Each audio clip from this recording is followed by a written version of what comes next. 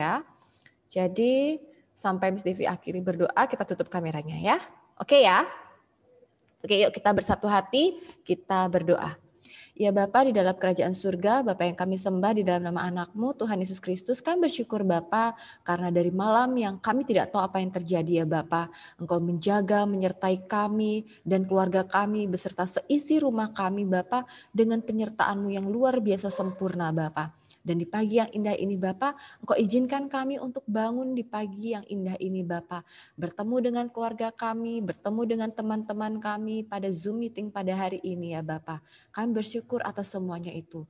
Bapak mungkin di saat ini Bapak ada kami yang uh, mulai semangatnya turun ya Bapak, kiranya senantiasa Engkau memberikan semangat kepada kami ya Bapak untuk memulai hari ini Bapak dengan semangat yang luar biasa yang hanya berasal daripadamu. Saat ini kami akan membuka hari kami dengan memuji memuliakan namamu, membaca dan mendengarkan kebenaran firmanmu.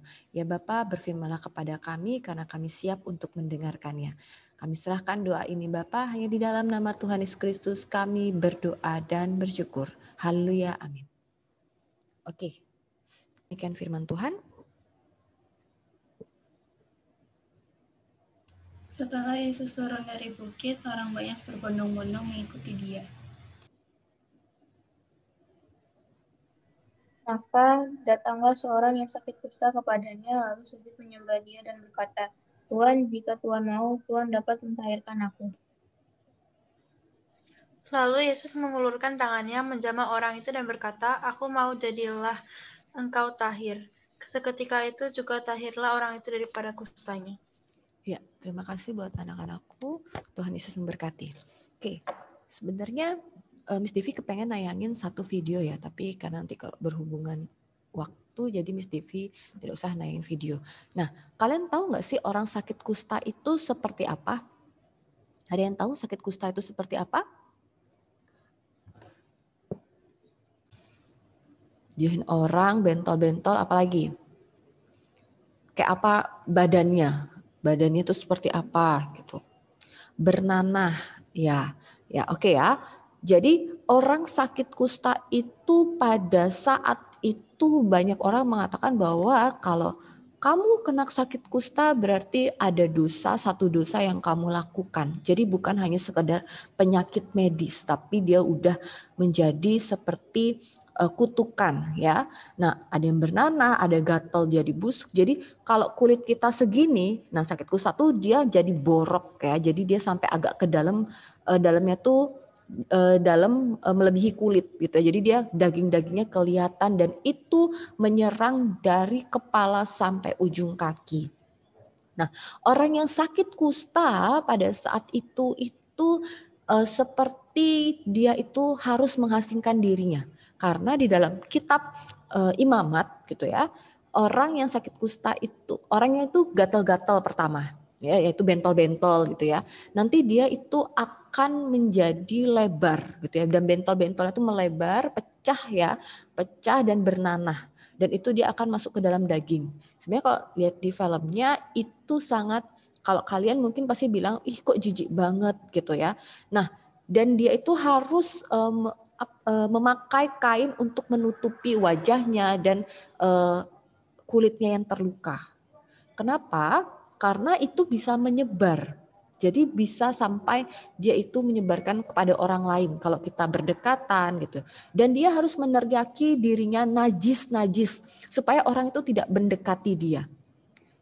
Kebayang ya, kita sakit ya, kita harus menjauhkan diri dari orang dan orang juga akan menjauhi diri dari kita.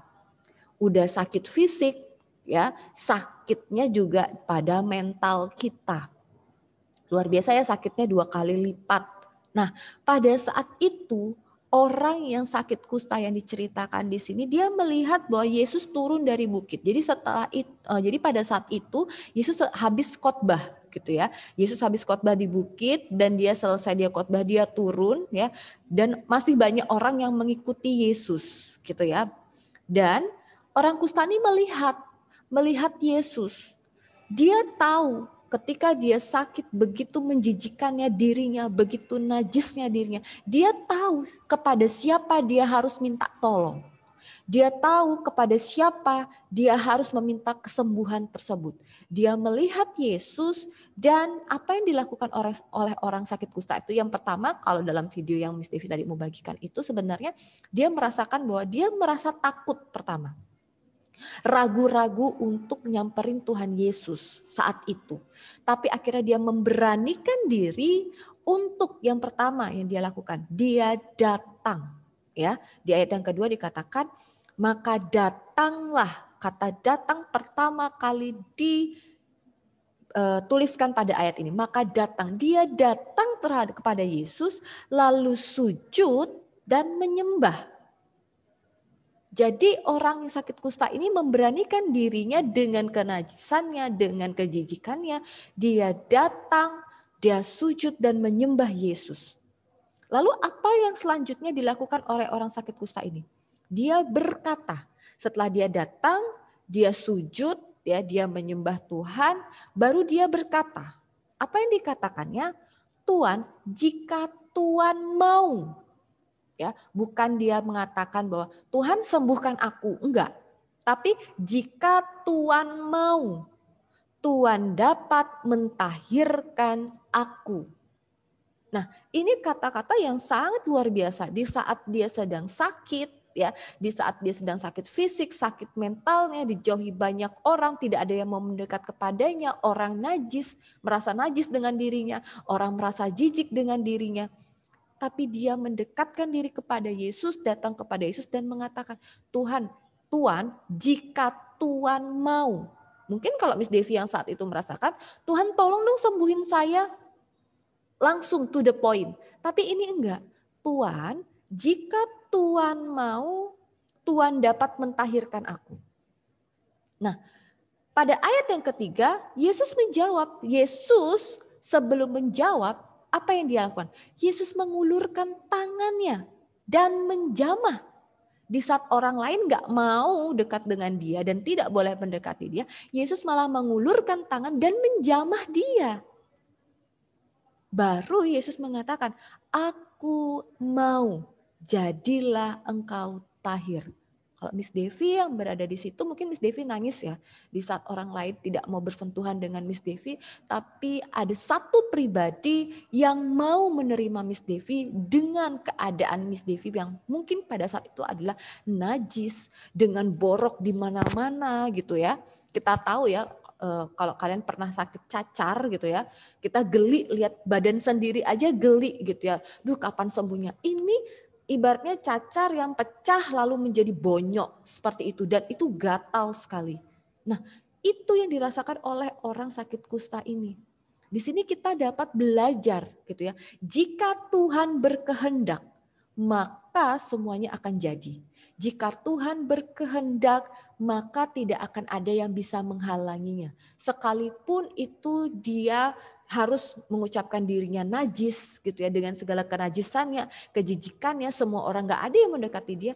Tapi kalau hati Tuhan Yesus sudah tergerak untuk menyembuhkan, maka nggak ada satupun yang dapat menggagalkan. Tuhan nggak bilang jijik, Tuhan nggak bilang kamu najis, tapi Tuhan mau kamu sembuh. Kita dapat belajar dari orang sakit kusta ini kalau kita merasa diri kita selama ini belum datang kepada Tuhan, saat ini kita ditegur bahwa orang yang sakit kusta saja, orang yang merasa najis saja, orang yang dinajiskan saja, orang yang merasa dirinya nggak layak saja, orang yang merasa dirinya sangat jijik, Tuhan terima, bahkan Tuhan sentuh loh dia. Tuhan ulurkan tangan dan Tuhan jamah. Tuhan mengatakan, aku mau jadilah engkau tahir. Maka dari itu kalau kita merasa kita kok selama ini doaku belum dijawab ya Tuhan. Kok selama ini aku merasa aku jauh ya dari Tuhan. Langkah pertama yang kita harus lakukan itu adalah datang kepada Tuhan dengan berdoa, membaca kebenaran firman Tuhan. Lalu kita meminta dan ketika kita meminta pun Tuhan saya mau ini. Belajarlah dari orang sakit kusta. Tuhan, boleh nggak kalau saya mau ini? Kenapa? Orang sakit kusta saja ya. Orang sakit dia merasa terhina saja. Dia nggak bilang dia nggak memaksakan Tuhan untuk apa yang dia mau itu jadi. Dia mau kesembuhan itu. Tapi dia nggak bilang Tuhan saya mau sembuh. Pokoknya sekarang saya mau sembuh. Enggak dia mengatakan bahwa jika Tuhan mau sama saja seperti kita dengan orang tua kita. Ma aku mau pulsa hari ini sekarang. Pokoknya sekarang gimana aja caranya sekarang nggak gitu malah hati orang tua kita nggak terketuk gitu ya. Tapi coba mulailah dengan kata-kata yang lembut. Tuhan, aku mau ini. Boleh nggak Tuhan? Apa ini yang terbaik? Jika ini yang terbaik, jadilah kehendakmu. Sama kita dengan orang tua juga seperti itu. Ma, Pak, ada uang nggak? Boleh nggak aku beli ini? Boleh nggak aku minta ini? Boleh nggak aku pergi ke sini? Berkata-katalah dengan lembut curilah hati orang tua kita, cari perhatiannya gitu ya. Jangan malah aku mau ini dengan uh, pemaksaan. Malah yang ada kita nggak diberikan. Tapi kita mencari perhatiannya dengan cara apa? Berkatalah lemah lembut. Jangan memaksakan kehendak Tuhan. Orang sakit kusta ini butuh kesembuhan saat itu. Tapi dia tidak memaksakan kehendak Tuhan. Dia tahu Tuhan bisa menyembuhkan Bahkan Tuhan lu membangkitkan orang mati, apalagi hanya memberikan kesembuhan. Tapi di sini kita melihat bahwa hatinya sangat ingin untuk sembuh, tapi dia tahu bahwa jika Tuhan tidak berkehendak, maka tidak akan bisa jadi. Kalau Tuhan bilang bukan sekarang waktunya sembuh bisa jadi. Tapi dia mengatakan bahwa Tuhan, jika Tuhan mau, tahirkanlah aku. Dan Tuhan mengatakan, aku mau ya gimana perasaan kita kalau Tuhan aku mau uh, tahun ini COVID-19 ini bisa hilang. Boleh nggak Tuhan? Terus Tuhan jawab oke okay, aku mau menghilangkan semua ini agar kamu bisa jalan-jalan agar kamu bisa bertegur sapa. Kalau Tuhan sudah mengatakan Tuhan mau atau boleh gitu ya dan Tuhan melakukannya pasti ada perasaan senang di hati kita maka dari itu mulailah dari saat ini belajar dari orang yang sakit kusta.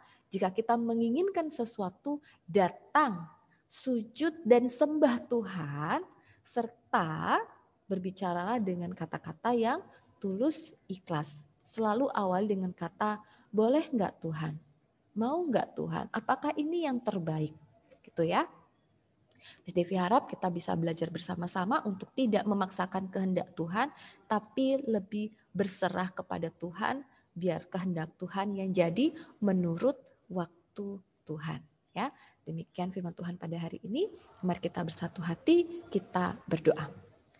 Bapak yang baik, Bapak yang kami sembah di dalam nama anakmu, Tuhan Yesus Kristus, kami bersyukur Bapak karena di hari ini Bapak kami diizinkan untuk membaca kebenaran firman-Mu Bapa.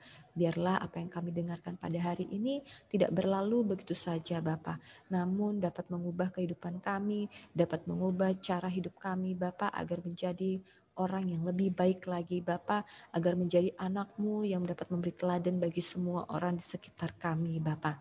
Ajarkan kami Bapa untuk selalu setiap menghadapi masalah selalu datang sujud dan menyembah Engkau Bapa dan tidak memaksakan pada kehendak kami sendiri Bapa. Namun biarlah kehendakmu yang terjadi di dalam kehidupan kami karena kami yakin dan percaya bahwa itulah yang terbaik di dalam hidup kami. Dan saat ini Bapak kami akan memulai pembelajaran online kami Bapak. Kiranya kami mohon Bapak agar Engkau memberikan kepada kami jaringan internet yang baik, perangkat yang kami gunakan agar berjalan dengan baik sehingga kami dapat uh, mengikuti pembelajaran pada hari ini dengan lancar ya Bapak. Bapak di dalam kerajaan surga kami juga mau berdoa buat orang tua kami yang saat ini yang sedang bekerja atau akan berangkat bekerja, kiranya Tuhan senantiasa menjaga mereka, menyertai mereka. Apa pun yang mereka kerjakan Bapak, Engkau jadikan berhasil sesuai dengan kehendakmu dan biarlah orang tua kami selalu sehat Bapak, selalu dilimpahi dengan sukacita dan berkat Bapak dan kedamaian yang hanya berasal daripadamu. Kami juga mau berdoa buat guru-guru kami, agar guru-guru kami dalam mengajari kami, mereka dapat dengan sabar mendidik kami Bapak Bapak, kami serahkan doa ini Bapak hanya di dalam nama Tuhan Yesus Kristus. Kami bersyukur dan berdoa hanya di dalam nama Tuhan Yesus Kristus. Haleluya. Amin. Terima kasih buat hari ini anak-anak. Kiranya anak-anak bisa mengikuti pelajaran dengan baik. Oke, Miss Divi mau tanya satu hal.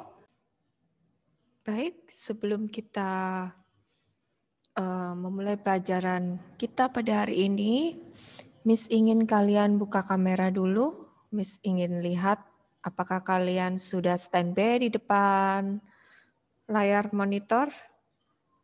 Ya, Elita, Alika, Monica, Lexia, Milo, Viveka, Nicholas, Edeta, silakan buka nak. Milo.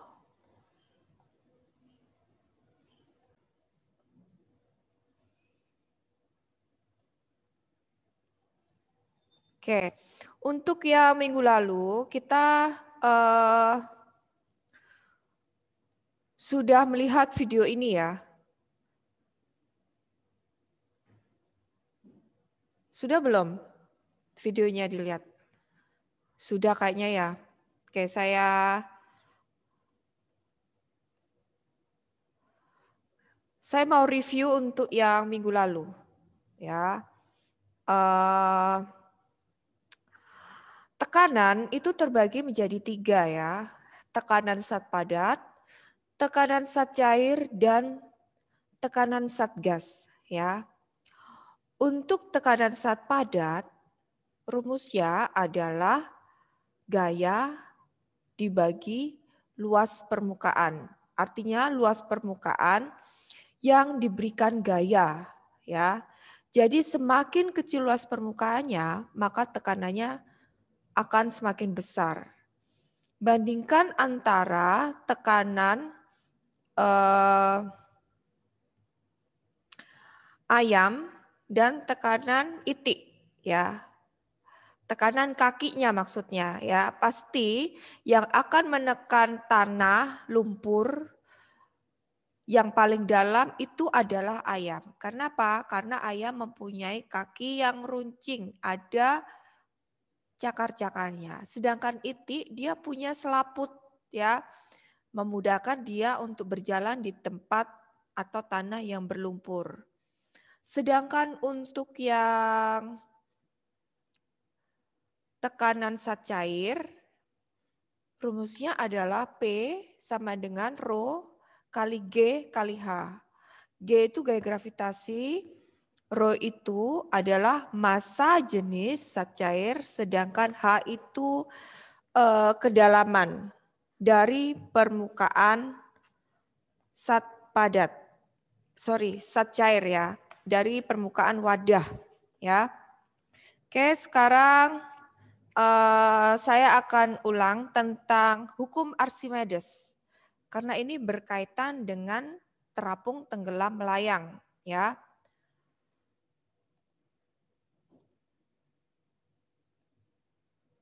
Perhatikan video yang akan saya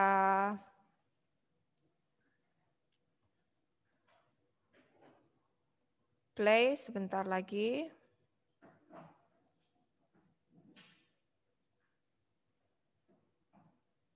Ya, ini adalah Archimedes.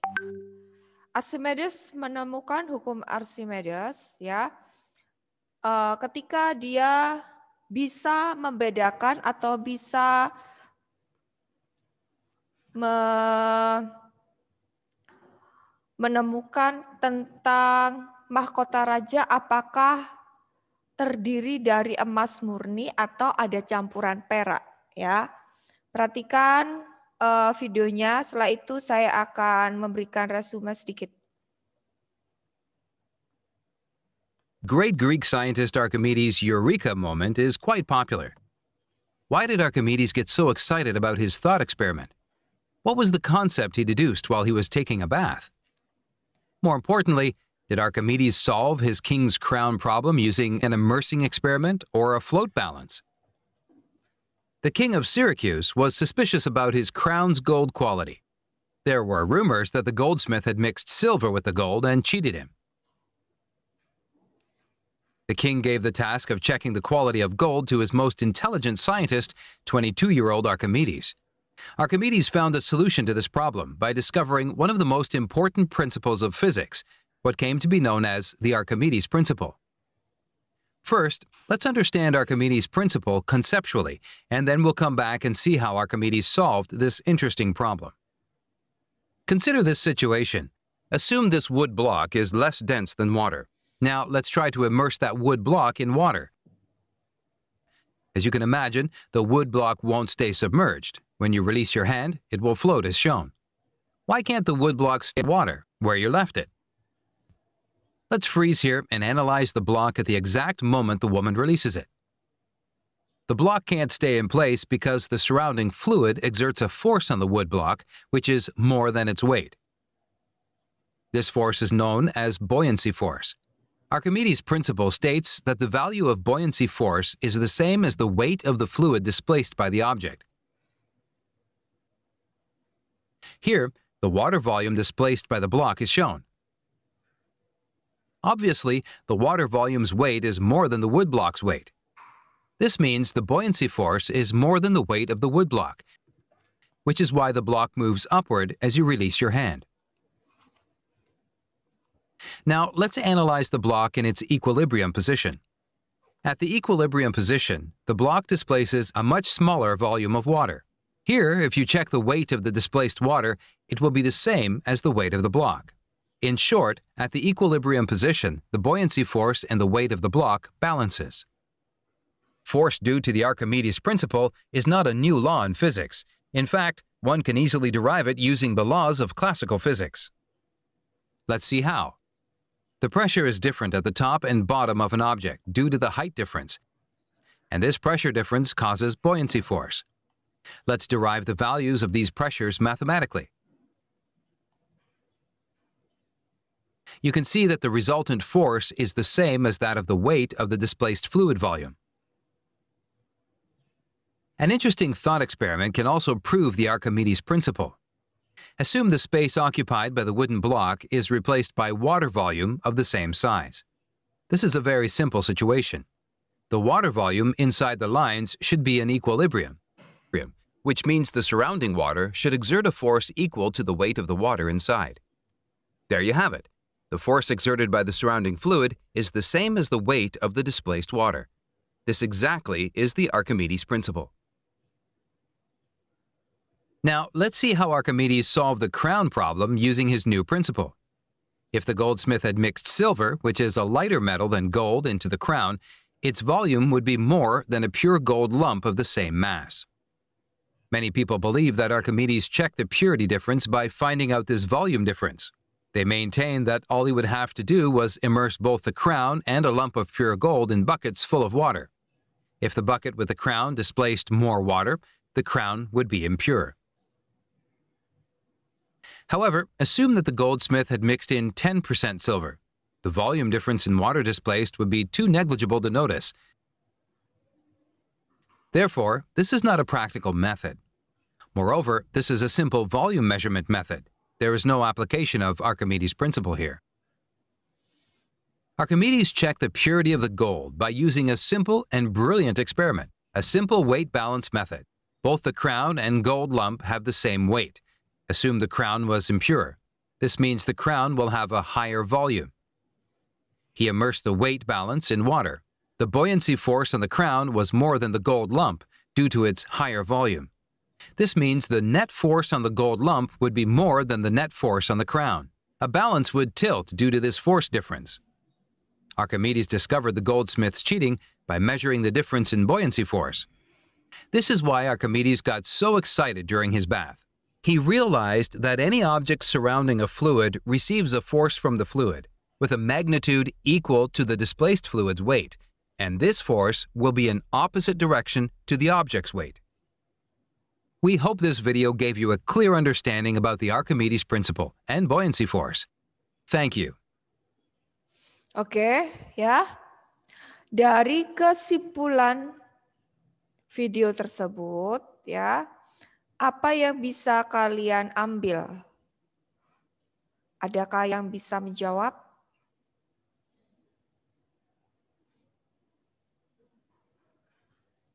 Areta mungkin kesimpulannya apa?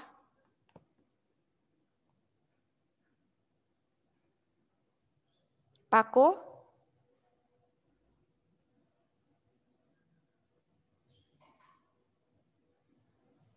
Iya, Miss. Uh, kesimpulan dari video tadi apa? Kalau yang mur uh, ini kalau contohnya emas aja ya, Miss. Ya. Pas yang murni pasti itu tenggelam ya, Miss. Mm Iya kan, Miss? Mm Tapi kalau bercampur sama perak -mm. yang nggak murni lagi, dia nggak akan tenggelam sampai dasar. Terus uh, kalau ini beratnya itu emas murni lebih berat daripada mahkota karena mahkota itu percampuran dari emas sama perak juga. Iya, betul. Oke. Uh, saya tambahkan ya Pak Ko, benar sekali. Ya, jadi uh, raja ingin mengetahui apakah mahkota yang dipakai yang akan dipakai itu apakah mengandung emas murni. Ya, karena seorang raja pastinya memakai mahkota harus yang murni ya. Jadi apakah emas murni atau tidak? Bagaimana untuk bisa tahu apakah itu emas murni atau tidak? Bingung. Dan akhirnya meminta tolong kepada ponaannya yaitu Archimedes untuk mencari solusi bagaimana cara mengetahui apakah itu uh, emasnya campuran atau tidak. Ternyata ketika dibandingkan dengan emas murni, jadi kalau misalnya mahkota yang emas murni pasti kalau ditimbang mempunyai massa yang sama dan kalau misalnya dicelupkan ke dalam air itu juga seimbang juga ya. Jadi kalau misalnya keluar volumenya yang keluar itu di tabungnya itu volumenya adalah 10 ml ya di mahkotanya pastinya 10 ml gitu ya. Tetapi ketika dibandingkan dengan mahkota raja Ternyata yang lebih berat adalah emas murni. Yang mahkota raja itu dia uh, tidak seberapa berat. Akhirnya diketahui bahwa mahkota itu campuran dengan perak. Ya, jadi yang emas murni itu lebih berat ternyata ketika dicelupkan ke dalam air dan ditimbang di dalamnya. Ya, itu adalah konsep berpikir Archimedes yang sebenarnya sangat simpel, tapi dia menemukan uh, rumus matematiknya, yaitu bahwa setiap zat cair mempunyai tekanan. Tekanan itu adalah tekanan gaya ke atas untuk uh, menekan gaya ke atas oleh sacar itu pastinya ada benda yang tercelup di dalamnya. Jadi kalau misalnya bendanya tenggelam, pastinya tekanan oleh benda itu lebih besar daripada tekanan dari zat cair. Dan pastinya masa jenis dari benda itu lebih besar dari masa jenis air. Contohnya batu. Batu lebih berat lebih besar masa jenisnya daripada masa jenis air ya. Jadi rumus yang diberikan oleh Archimedes yaitu Fa sama dengan rho kali G kali V. Fa itu adalah gaya tekan ke atas atau tekanan Archimedes ya. Sama dengan rho, rho itu masa jenis, G kali V. Jadi masa jenis harus memakai satuan kilogram per meter kubik. Ya, jadi kalau kilogram itu pasangannya dengan meter kubik. Kalau gram itu pasangannya dengan sentimeter kubik. Ya, sedangkan gaya gravitasi Newton per kilogram atau meter per uh, second meter per second kuadrat. Ya, kalau volume meter kubik. Jadi semuanya harus dalam bentuk satuan internasional. Jadi perhatikan untuk benda-benda yang apabila dicelupkan ke air mengalami tiga kemungkinan, yaitu yang pertama itu melayang, yang kedua tenggelam, dan yang ketiga terapung. Ya, jadi apabila suatu benda itu melayang, maka masa jenis benda rata-rata pasti sama dengan masa jenis fluida. Apabila tenggelam, masa jenis benda pasti lebih besar daripada gaya tekan ke atas. Atau masa jenis benda lebih besar dari masa jenis uh, secair. Atau bisa juga berat lebih besar daripada gaya Archimedes. Ya, Kalau terapung, pastinya masa jenisnya dari benda itu lebih kecil daripada masa jenis secair. Atau bisa juga uh, dituliskan W kurang dari FA. Berat lebih kecil daripada gaya tekan ke atas. Ya. Oke, sekarang kita masuk ke contoh soal.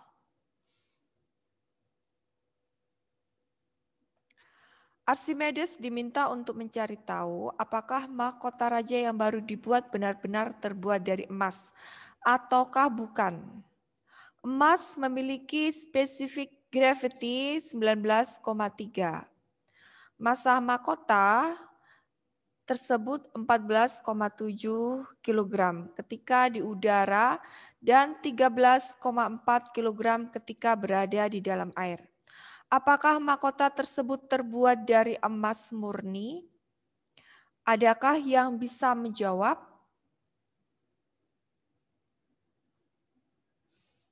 Tadi sudah disebutkan di depan ya.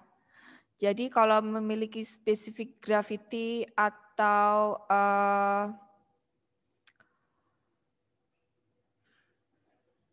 masa jenisnya 19,3 ya, maka dia lebih lebih berat ya pastinya. Sedangkan pada eh, mahkota raja itu masanya adalah 14,7 kg ketika di udara dan 13,4 kg ketika berada di dalam air.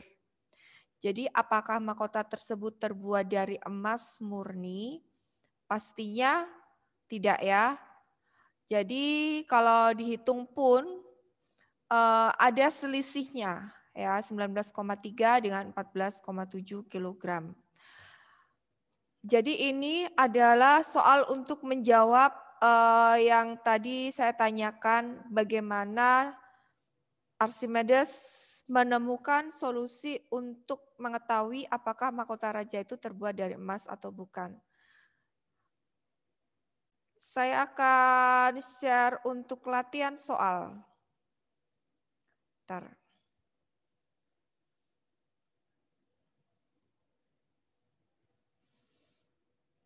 Ini bisa dilihat ya. Oh, belum ya?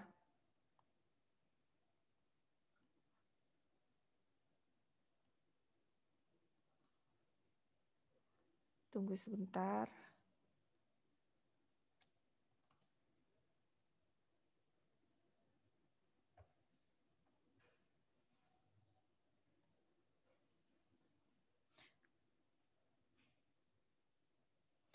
Oke, perhatikan untuk latihan soal.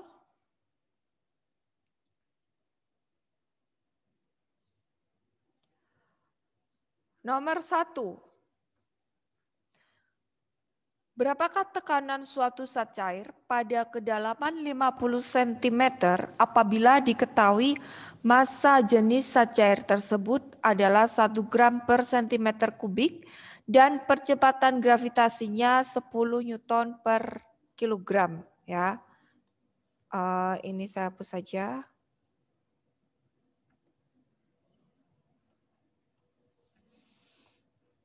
Oke, nomor satu. Eh, anak-anak, uh, setiap kali fisika sediakan buku tulis dan alat tulis ya, supaya kalian bisa mencatat dan bisa menghitung ya. Jadi Uh, supaya kalian tidak melihat layar saja karena kalau hanya mendengarkan kemungkinan untuk menyerap pelajaran itu kurang maksimal. Jadi kalau kalian mau supaya maksimal, kalian juga harus menulis ya. Jadi apa yang saya sampaikan ditulis, apa yang ada soal di depan dikerjakan. Oke, coba sekarang uh, kerjakan nomor satu. Saya kasih waktu dua menit ya. Nanti saya akan panggil siapa yang bisa mengerjakan.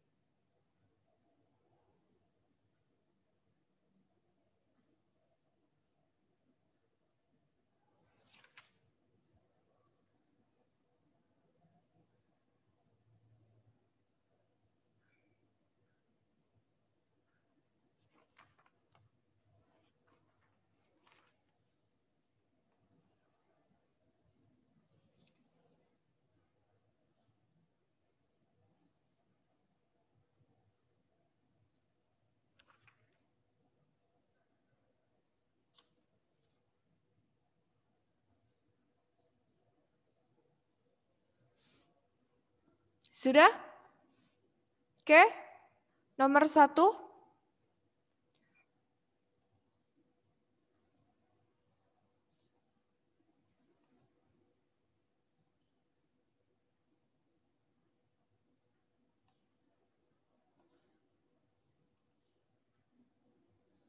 Rahel 0,05. Ya. Uh, Alan, berapa Alan? Hasilnya?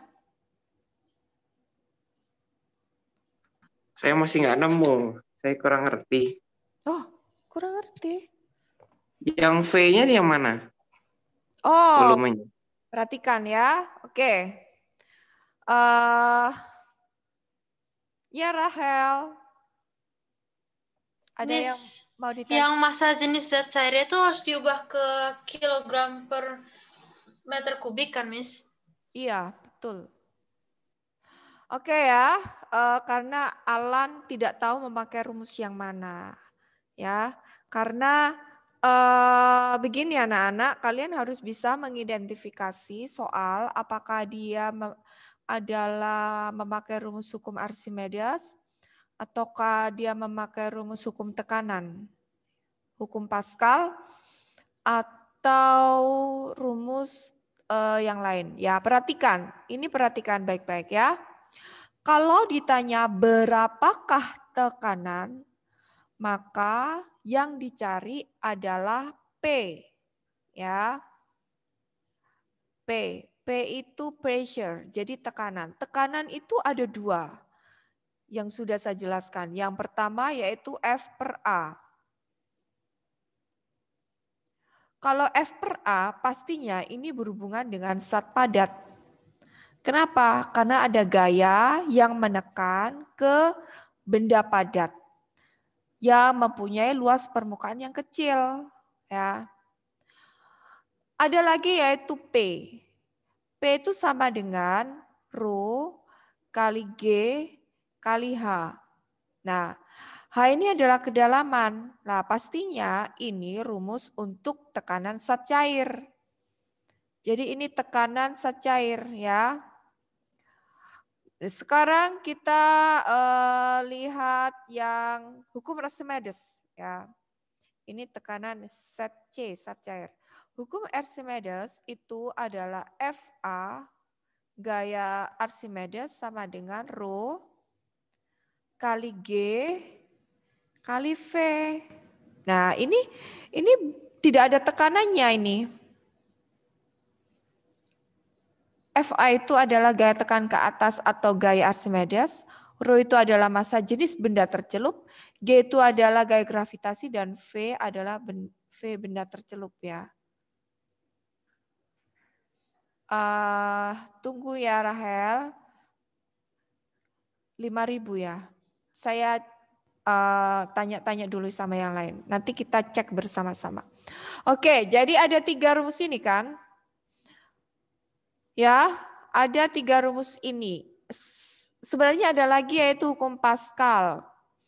Sedangkan di sini mencari tekanan. Ya, kalau mencari kalau hukum Pascal mencari gaya. Oke, berapakah tekanan suatu zat cair pada kedalaman 50 cm? Dari rumus 1, rumus 2, rumus 3, mana yang lebih cocok digunakan untuk soal nomor satu? Alan? Nomor dua. Betul, nomor dua. Ya, sekarang kita kerjakan sama-sama ya. P sama dengan Rho kali G kali H. Ya. Ini satuan Newton per kilogram. Berarti ini harus dijadikan meter karena SI standar internasional itu sama dengan M K S meter kilogram second. Ya. Gram per sentimeter kubik itu bukan SI karena dia pakai sentimeter, sedangkan ini harus meter. Ini MKS ya, M meter kilogram sek. Oke, sekarang ini jadikan ke kilogram meter kubik ya. Saya hapus dulu yang ini. Satu gram per sentimeter kubik itu ada berapa meter kubik ya. Oke, satu sama dengan, eh sorry, 1 gram per sentimeter kubik. Uh, tunggu sebentar. Ya, betul. 1000. Uh, tapi kita harus hitung dulu ya. Rahel. Oke, sekarang jadikan kilogram per meter kubik ya. Sebenarnya kita, sebenarnya uh, kita hafalin aja sih karena kita pasti sering memakai itu. Tapi kita harus tahu caranya menghitungnya bagaimana ya. Jadi ini saya kasih tahu cara menghitungnya. Ini satu dari gram ke kilogram itu berarti naik uh, seribu ya. Jadi satu dibagi seribu. Oke. Ini kan ada per. Per. Dari sentimeter kubik ke meter kubik itu naiknya berapa? Kilometer, hektometer, dikameter, meter, sentimeter, uh, sorry, kilometer, hektometer, dikameter, meter, desimeter, sentimeter, milimeter. Satu, dua. Satu atau dua, Theodorisa?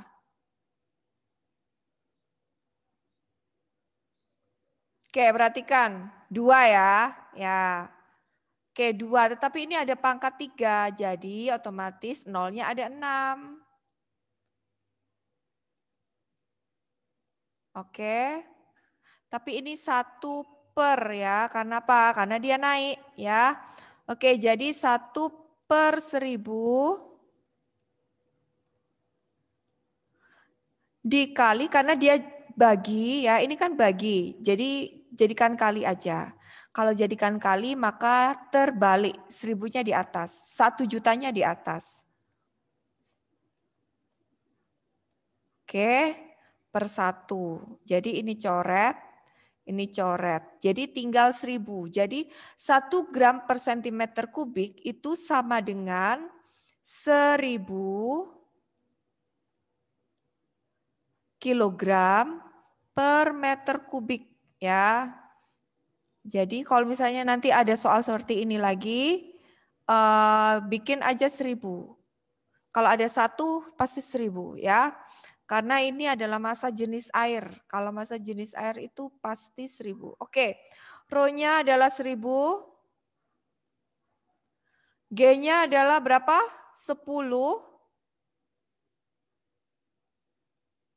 Hanya berapa hanya? Ada yang uh, tahu hanya berapa?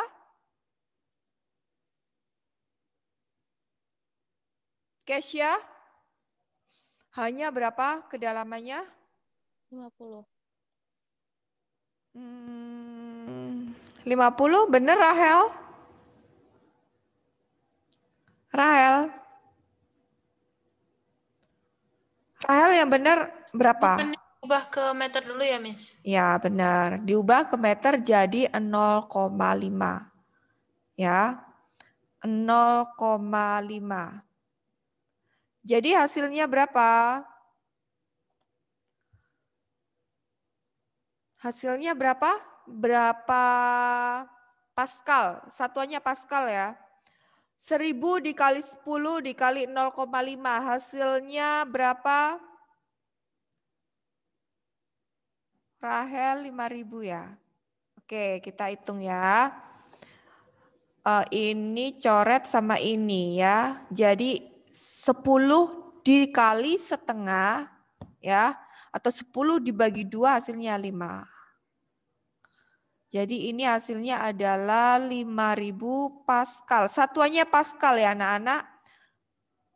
Atau uh, Newton per meter persegi. Jadi ini satuan Pascal. Ya, betul. Rahel 5000 ya. Ya, Rahel benar. Oke, dari sini ada pertanyaan. Apakah ada pertanyaan? Baik, kita langsung masuk ke ya Theodorisa. Miss itu kayak angka satu di sebelahnya tanda sama dengan dari CM pangkat tiga itu apa, Miss? Ya mana ya? Oh ini. Ya. Iya itu. Lah, ini tadi kan dari sini. Oh itu satu. Oh. Jadi kan kalau jadi pecahan sama. Uh, satu dikali seribu kan satu juga. Uh, satu dikali seribu kan seribu kan? Jadi sebenarnya hmm. ini kan nggak ngaruh kan? Ya. Hmm. Masalahnya yang gram per sentimeter kubik itu ini. Satu itu ini gitu. Oke? Paham nggak? Oke, Miss. Ya, jadi hasilnya dari gram per sentimeter kubik uh, menjadi kilogram per meter kubik adalah seribu. Lah, seribu ini dikalikan dengan satu, ya tetap hasilnya seribu kan? Jadi hasilnya adalah seribu untuk masa jenis dari zat itu. Ya, jadi saya masukkan angka seribu di sini.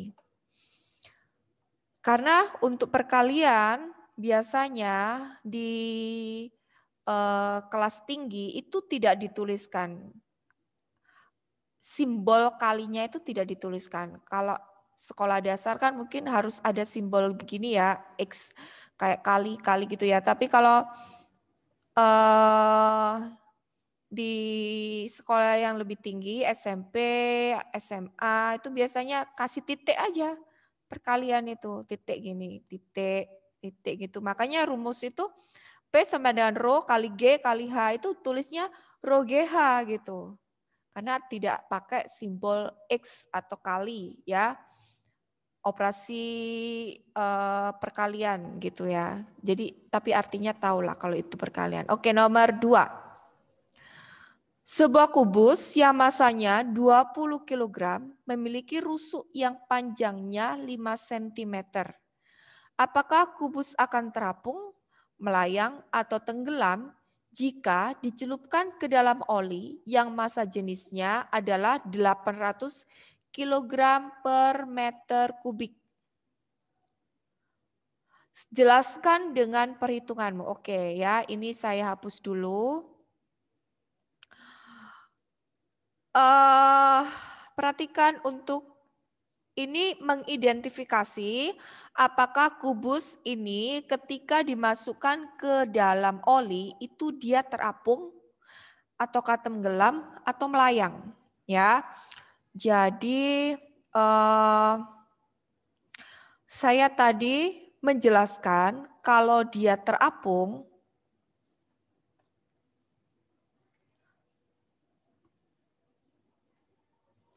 terapung ya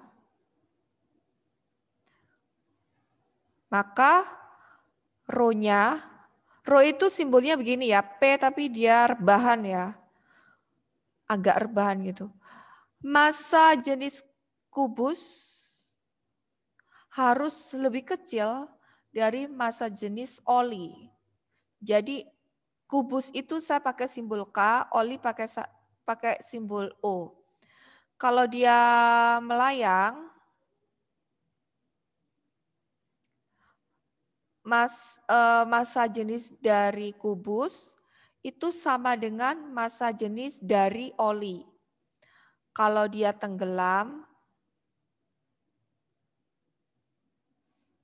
masa jenis kubus lebih berat dari masa jenis oli. Sekarang perhatikan untuk kubusnya. Ya. Kita harus mencari masa jenis dari kubus, ya ini adalah masa. Ini adalah rusuk ya. Sedangkan ini adalah masa jenis oli. Oke. Kita harus mencari masa jenis kubus. Masa jenis rumusnya adalah masa dibagi volume. Ya. Ingat tidak kelas 7. Masa satuannya apa? Kilogram kan? Nah ini kita tuliskan 20 kilogram per volumenya berapa? Rumus dari volume kubus adalah rusuk kali rusuk kali rusuk ya. Jadi sama dengan 20 5 kali 5 kali 5 cm tapi ini, ini kilogram. Ya. Oke, jadi hasilnya adalah 20 dibagi 5 kali 5 kali 5. 25 kali 5 berapa? 100? 25 cm. Ini kilogram ya harus disamakan seperti ini ya. Meter kubik kilogramnya sama. Tapi yang meter kubiknya yang beda. Nah, sekarang 125 cm ke meter kubik ini kubik ya. Ke meter kubik jadi berapa hasilnya? Adakah yang bisa menjawab? 20 dibagi 125 cm kubik ke meter kubik. 0,125 meter kubik. Betulkah? Karena dia pangkat 3. Jadi pastinya dibagi satu juta, ya kan? Jadi ini, jadi kan sebenarnya begini kan, kalau ini dari awal ya, ini meter ya. Ini kan harusnya 0,05 dikali 0,05 dikali 0,05 gitu kan. Jadi ini pastinya saya tuliskan dalam bentuk uh, notasi ilmiah ya. Hasilnya adalah 125 kali 10 pangkat minus 6 ya. Karena kan satu tangga itu seribu, dua tangga berarti satu juta, ya kan? Jadi kalau naik berarti minus 6. Nolnya 6 itu kan satu juta. Jadi hasilnya ini kita naikkan ke atas saja. Eh, Sudah diajarin matematika seperti ini belum? Sudah ya? Ini namanya pangkat. Oh, belum. Kok masa belum?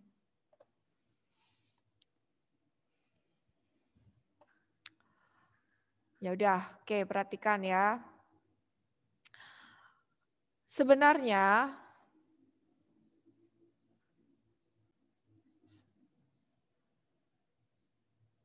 Tadi mana?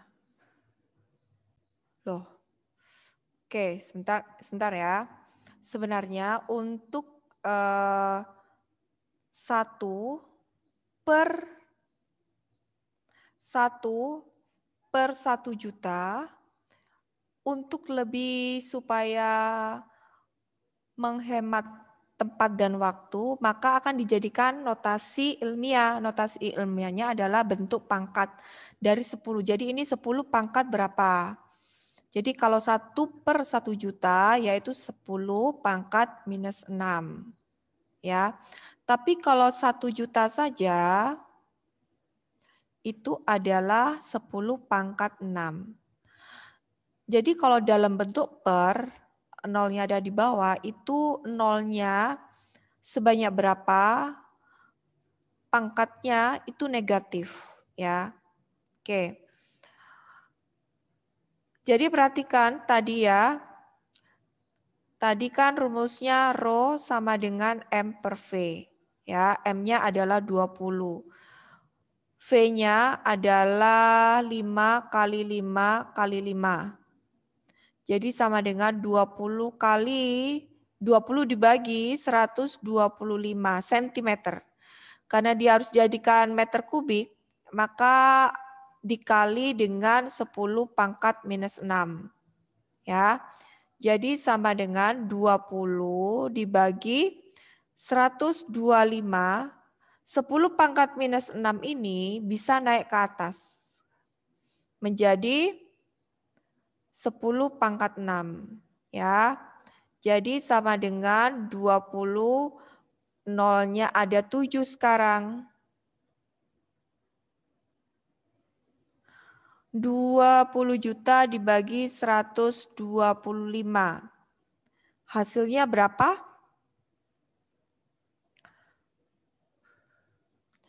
Seratus dua puluh lima kali empat itu hasilnya adalah 4 kali 2, 8 ditambah 2, 10 ya. Uh, 600. 160 ribu. 160 Oh ya, 160 ribu. Jadi hasilnya adalah 160 ribu kilogram per meter kubik. Nah, sekarang kalian bisa identifikasi apakah benda itu melayang, terapung, atau tenggelam. Adakah yang bisa menjawab?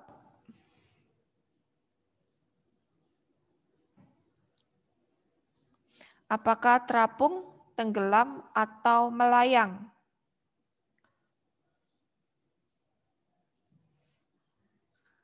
Oh. Ada yang melayang, ada yang terapung. Ayo, yang mana yang benar? Oh.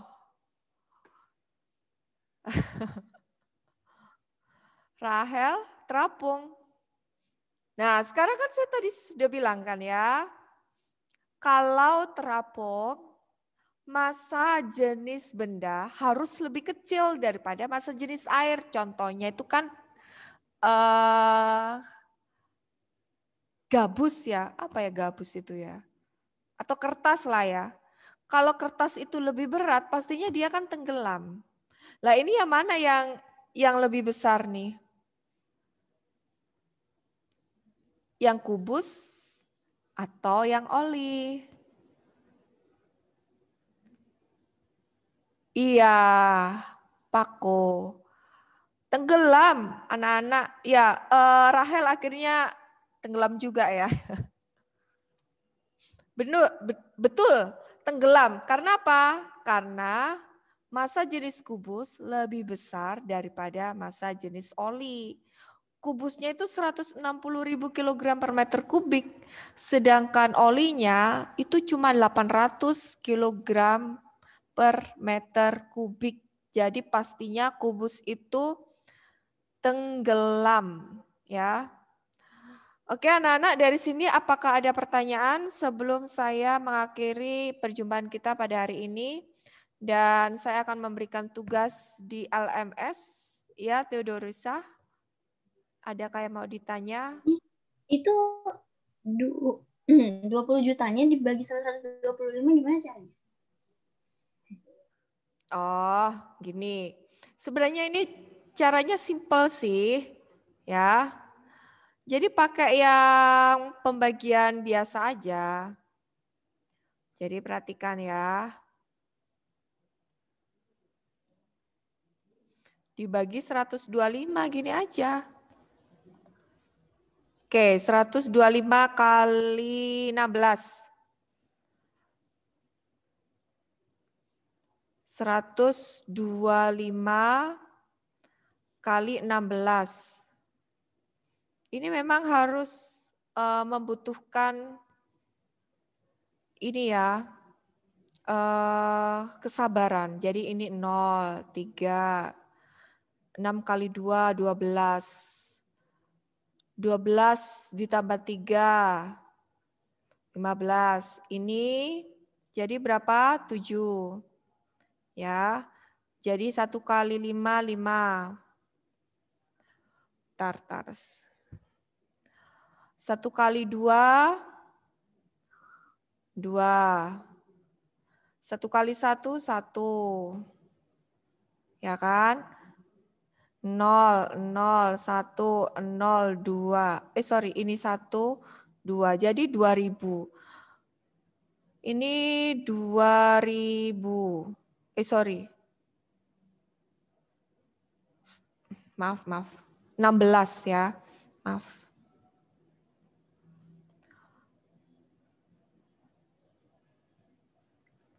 Jadi ini adalah angkanya 16. 16. Hasilnya adalah 2000. Udah tinggal nolnya ada 4. 1, 2, 3, 4. Tua gampat. Jadi 160 ribu hasilnya. Ya kalau uh, harus satu-satu memakai pemisah misalnya 125 kali 10 1250 sedangkan ini harus di depannya angkanya harus ada dua. Jadi dicoba-coba, ya kan? Seperti itu kan? Oke, Theodorisa silakan. Ya, Kesia harus dijadikan meter. Ya, Theodorisa ada tanya lagi? Kenapa, eh, kenapa 10 pangkat minus 6-nya dipindahin ke atas? Oke, perhatikan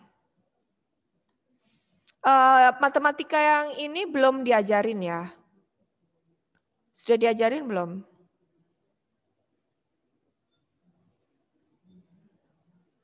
Ini namanya eksponen ya. Oh, sudah diajarin Rahel. Tapi di tempat les. Oke okay ya.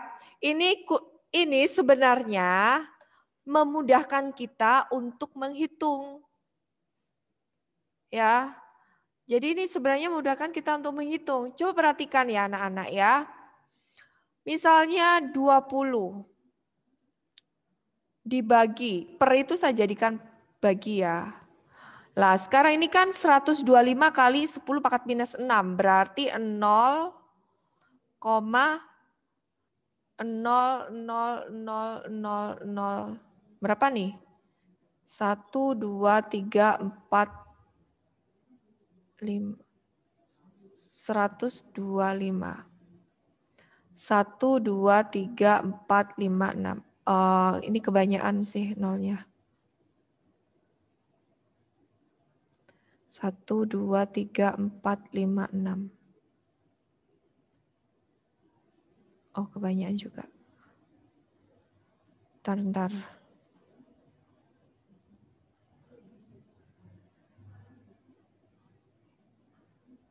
Satu, dua, satu, dua, tiga, empat.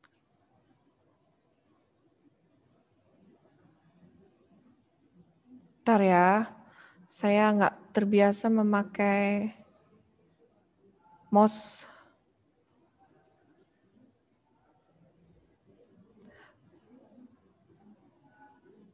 Oke, ya. Ini kan. 20 dibagi 0,000125 ya. Jadi sama dengan 20 dibagi 125 per uh, 1 juta. Kan gini. Ya kan? Jadi sama dengan 20 dikali 1 juta. per 125. Ya enggak? Kalau ini bagi, setelah itu kalau jadikan kali, angka 1 juta ini naik ke atas. Ya kan? Jadi sama dengan 20 dikali 1 juta ini mis jadikan pangkat. Jadi 10 pangkat 6 per 125. Sama dengan ini. Jadi ini sama dengan ini. Paham Teodorisa? Paham? Paham ya. Ya. Oke, jadi kalau bagi itu bisa dia naik ke atas ya, karena dia dikalikan. Oke anak-anak sudah jam 9 lebih 1 ya. Uh, sebentar saya akan upload soal di LMS ya, kerjakan sampai Batas waktunya sampai Selasa depan ya. Selasa depan. Jangan sampai lebih dari hari Selasa. Ya, apakah ada yang mau bertanya? Teodorisa, Nicholas, ada yang mau ditanya? Miss dapat dapat dapat ah dapat 10 ke 10 pangkat 6 dari mana, Miss? 10 pangkat 6 itu adalah 1 juta. 1 juta itu kan nolnya 6. Kenapa 1 juta? Karena dari sentimeter kubik ke meter kubik. Jadi satu tangga naik itu 10-nya pangkat 3 atau 1000. Dua tangga naik lagi jadinya 1 juta. Paham nggak, Nicholas? Ya, Miss, paham, Miss. Ya. Oke anak-anak, saya akhiri perjumpaan kita pada hari ini ya. Uh, saya kasih waktu minta uh, minta waktunya untuk memasukkan mengupload soal di Moodle ya. Nanti kalian bisa kerjakan. Ya, oke okay, baik. Terima kasih anak-anak. Silakan buka kameranya terlebih dahulu. Saya mau ngecek uh, kalian apakah masih ada di tempat Oke. Rahel, Monica, Wayanara. Baik. Uh, kalian tahu nomor WA saya kan? Jadi kalau misalnya ada yang mau ditanyakan, silakan WA saya. Sudah tahu? Ya, oke okay ya. Baik, anak-anak, terima kasih atas waktunya. Tuhan Yesus memberkati, jaga kesehatan.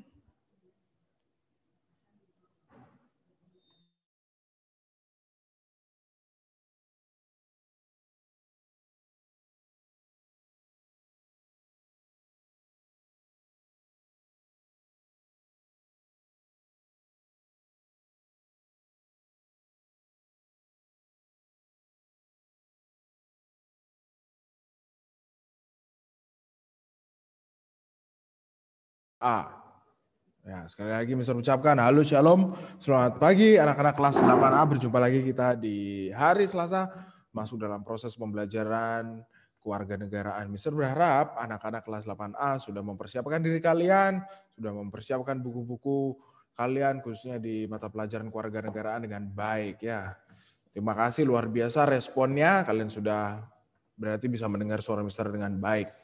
Oke, sebelum kita masuk dalam proses pembelajaran kita, Mister berharap uh, dan minta anak-anak uh, kelas 8A bisa uh, membuka kamera kalian. Kita akan berdoa bersama-sama. Silahkan kameranya bisa dibuka yang tidak mengalami kendala. Yang mengalami kendala tidak masalah. Mister tidak harus memaksa kalian. Ya, baik. Terima kasih ada Erika, Paco, Areta. Mister berharap anak-anak yang lainnya bisa mengikuti. Ada Elita, Verisa, halo. Ya. Oke, baik. Kita akan berdoa bersama-sama untuk mengikuti proses dan memulai pembelajaran kita. Lipat tangan, tunduk kepala, dan tutup mata. Mari kita berdoa anak-anak. Segala puji syukur Tuhan kami naikkan kepadamu. Terima kasih Tuhan Yesus buat uh, kebaikanmu. Kalau pada kesempatan pagi hari ini kami akan melanjutkan proses pembelajaran kami. Memaknai tentang makna kebangkitan nasional. Mampukan kami Tuhan sebagai generasi muda, generasi penerus bangsa Indonesia untuk dapat memahami bahkan memiliki rasa nasionalisme dan patriotisme dalam hati dan jiwa kami Tuhan. Mampukan kami untuk melaksanakan untuk memperjuangkan semangat-semangat ini dalam kehidupan kami dan mampu kami pancarkan dalam kehidupan kami sehari-hari supaya para generasi muda yang ada di sekitar kami dapat melihat bahwa anak-anak Tuhan tetap memiliki rasa nasionalisme dalam hati dan jiwa kami Tuhan. Engkau setiap anak di tempat ini Tuhan. Berkati mereka dalam kesehatan maupun pendidikan mereka. Engkau campur tangan Tuhan dalam proses pembelajaran kali ini. Biarlah hikmat turun atas mereka, kecerdasan, kepintaran, bahkan karakter-karakter Pancasilais hidup dalam setiap hati dan jiwa mereka. Kami serahkan hidup kami hanya di dalam nama Tuhan Yesus. Haleluya. Amin. Baik anak-anak, terima kasih buat yang sudah menyalakan kamera, Mister ucapkan terima kasih juga yang tidak menyalakan kamera. Mister tidak tahu apa alasannya, tapi Mister yakin dan percaya anak-anak Tunas Daud sungguh luar biasa dan selalu menjunjung tinggi yang namanya nilai-nilai kejujuran. Oke, baik anak-anak. Ini karena materi kita sangat padat, Mister harus melanjutkan lagi uh, pembelajaran kita minggu lalu ya. Karena nanti Mister akan berikan satu cuplikan video mengenai perang gerilya yang dilakukan, yang dilaksanakan oleh Panglima Besar Jenderal Sudirman, pahlawan nasional kita.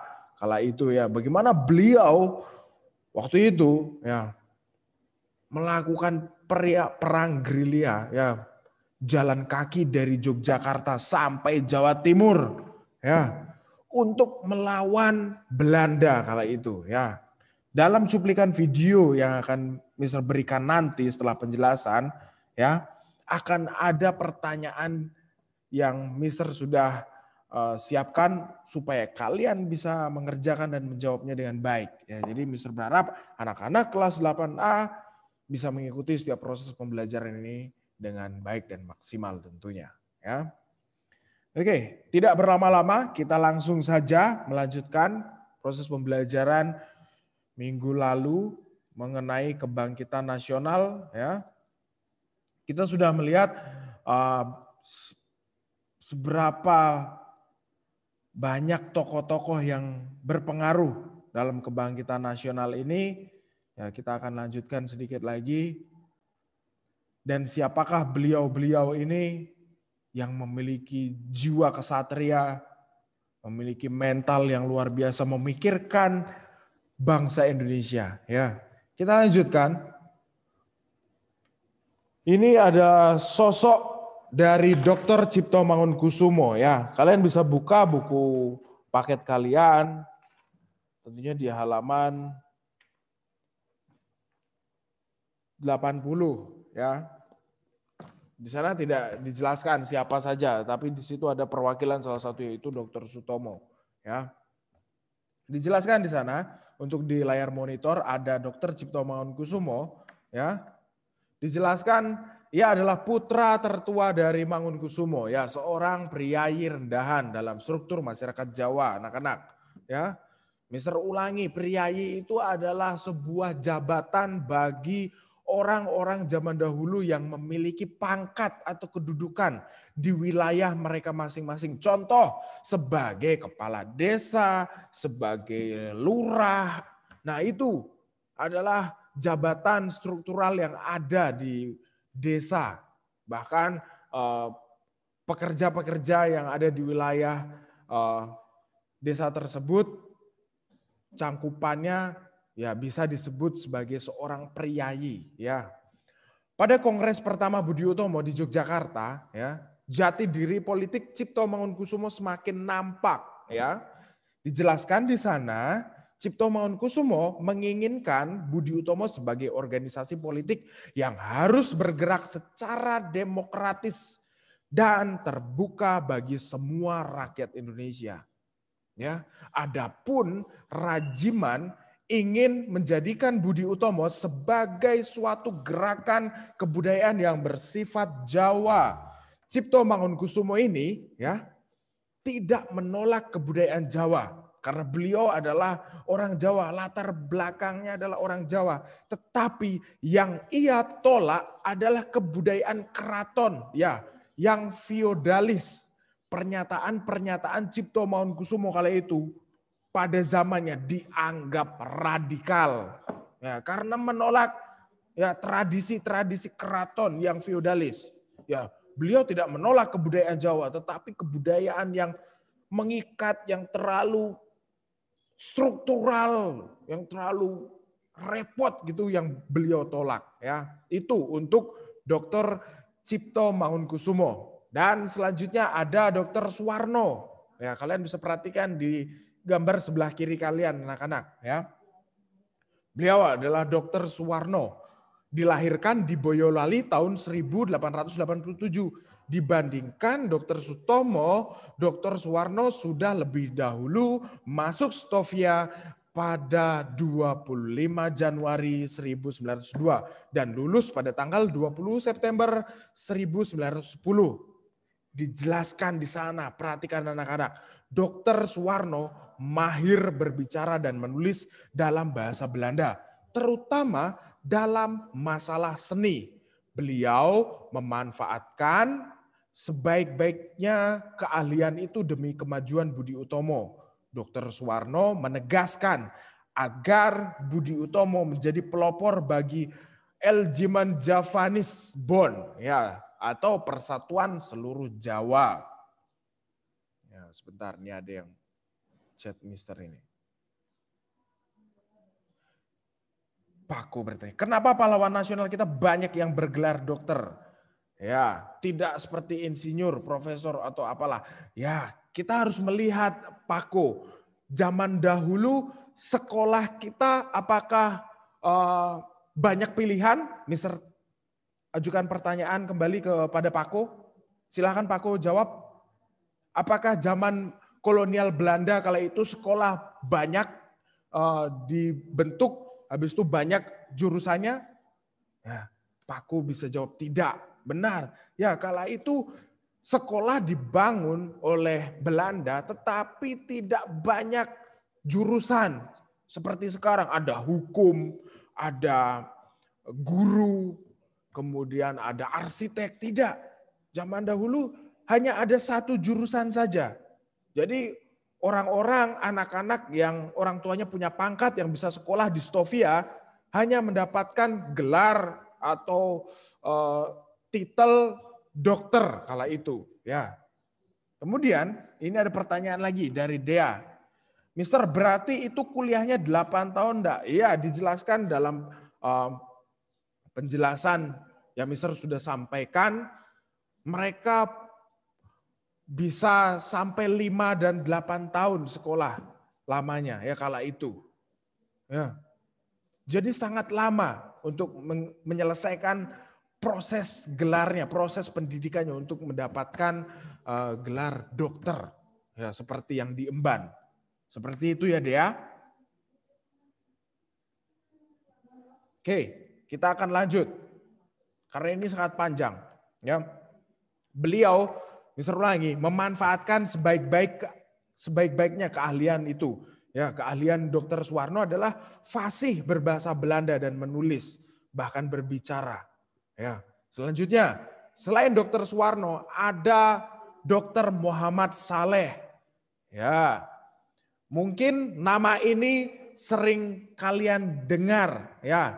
Nama ini diabadikan di salah satu bandara di Jawa Timur. Ada yang tahu tidak? Bandara di mana itu? Letaknya di mana? Muhammad Saleh ini, Dokter Muhammad Saleh. Bandara di mana? Ada yang tahu tidak? Iya, terima kasih Pako, Malang, Jawa Timur ya. Luar biasa, berikan jempol dua. Mantap Pako.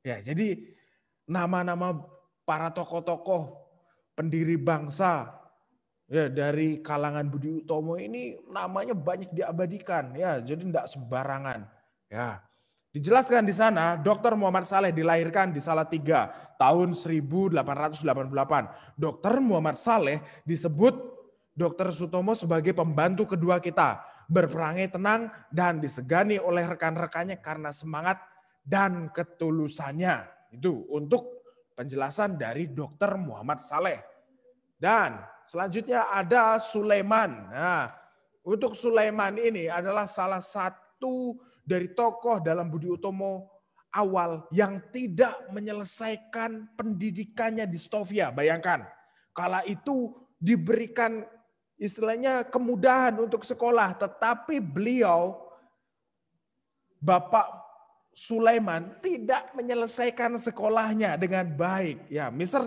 tidak tahu apa alasan beliau tidak menuntaskan, tidak menyelesaikan pendidikannya di Stovia.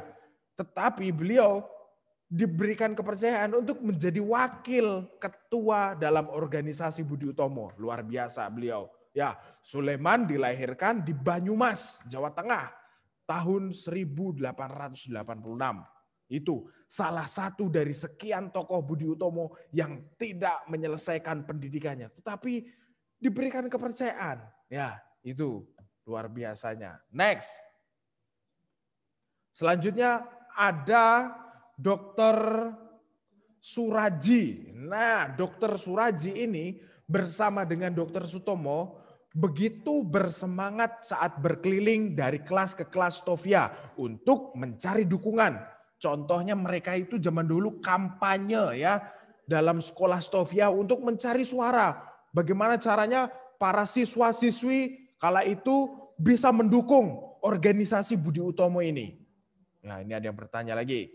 Mister, kok orang-orang bisa nemu tempat dan tanggal lahir pahlawan? Ya, nanti dalam cuplikan video, ya, kalian akan tahu. Mister akan berikan ulasnya sedikit karena banyak orang-orang sekarang, para generasi muda, mereka sekolah dan mengambil jurusan sejarah untuk meneliti, untuk mencari tahu pahlawan-pahlawan nasional kita. Sehingga banyak cara untuk mencari latar belakang beliau, untuk mencari uh, asal beliau di mana mereka dilahirkan pada tanggal berapa. Tetapi Dea, ada juga pahlawan-pahlawan nasional kita yang tidak diketahui kapan, tahun, dan tanggal berapa mereka dilahirkan. Ada, ya. Tetapi yang tercatat hanya kapan mereka wafat. Ya, karena keterbatasan eh, kesempatan, keterbatasan eh, waktu, dan dokumen-dokumen yang dicari tidak dapat. Jadi tidak bisa menentukan kapan lahirnya beliau. Jadi seperti itu dia. Ya, kita lanjutkan lagi. Dijelaskan, Dokter Suraji kerap disebut tangan kanan atau pembantu utama dari Sutomo. Nama beliau, nama Budi Utomo pun bermula dari gagasan dan usulan Suraji. Ingat, tolong diperhatikan anak-anak kelas 8A. organisasi Budi Utomo ini ya digagaskan, diusulkan oleh Dr. Suraji. Ya, perhatikan. Nama Budi Utomo pun bermula dari gagasan dan ulasan usulan dari Dr. Suraji yang dilahirkan di Madiun tahun 1888 itu. Ya, jadi seperti itu Dr. Suraji yang mempunyai pemikiran luar biasa untuk memberikan nama organisasi Budi Utomo. Dan selanjutnya sedikit lagi kita lanjutkan ada Dr. Angka Prasojo Dirjo. Ya, Dr. Angka Prasojo Dirjo ya lahir pada 13 Desember 1887 di Banjarnegara, Jawa Tengah. Selama tujuh tahun, Dr. Angka Prasodirjo bersekolah di Holland Inde School atau HIS, kemudian melanjutkan di Hongridge Burger School HBS selama lima tahun. Nah itu sesuai dengan apa yang Mister sampaikan tadi. Mereka menyelesaikan pendidikan sekolahnya selama lima tahun, bahkan ada yang delapan tahun juga. Setelah itu baru melanjutkan ke Stovia pada 4 Januari 1904 dan lulus pada 30 Juli 1912. Dr. Angka Prasodirjo menduduki jabatan bendahara kala itu di organisasi Budi Utomo. Nah, dan sedikit lagi ya, kita masuk dalam organisasi pada masa kebangkitan nasional ya. Kalian bisa perhatikan gambar di layar monitor kalian. Ya, Mister akan sampaikan sedikit saja ini ya karena waktu kita sangat kejar-kejaran. Ya, dijelaskan di sana di bagian ketiga untuk organisasi pada masa kebangkitan nasional ya. Dijelaskan bahwa kelahiran Budi Utomo telah menjadi tonggak ya cikal bakal yang menumbuhkan yang namanya semangat perjuangan sekaligus menjadi inspirasi bagi berdirinya berbagai organisasi di seluruh pelosok tanah air, baik yang bersifat kedaerahan, politik, serikat kerja, keagamaan, kewanitaan maupun kepemudaan. Ya, yang kita tahu ada Sumpah Pemuda yaitu latar belakang lahirnya dari organisasi Budi Utomo yang kita pelajari saat ini. Kalian harus pahami itu pertama. Dan dijelaskan di sana Budi Utomo, ya organisasi Budi Utomo menjelaskan, Sutomo menjelaskan gagasan mengenai pembentukan suatu organisasi kepemudaan ia juga mengatakan masa depan bangsa dan juga negara terletak pada para pemuda. Ya, ingat cuplikan uh, puisi yang dibacakan oleh Wahidin Sudirohusodo. Kalian harus ingat, dijelaskan di sana salah satu cara untuk membebaskan diri dari penjajahan adalah rakyat harus cerdas. Bayangkan, kala itu berarti kita sudah tahu bahwa pendidikan sangat minim, sekolah sangat terbatas kala itu. Ya.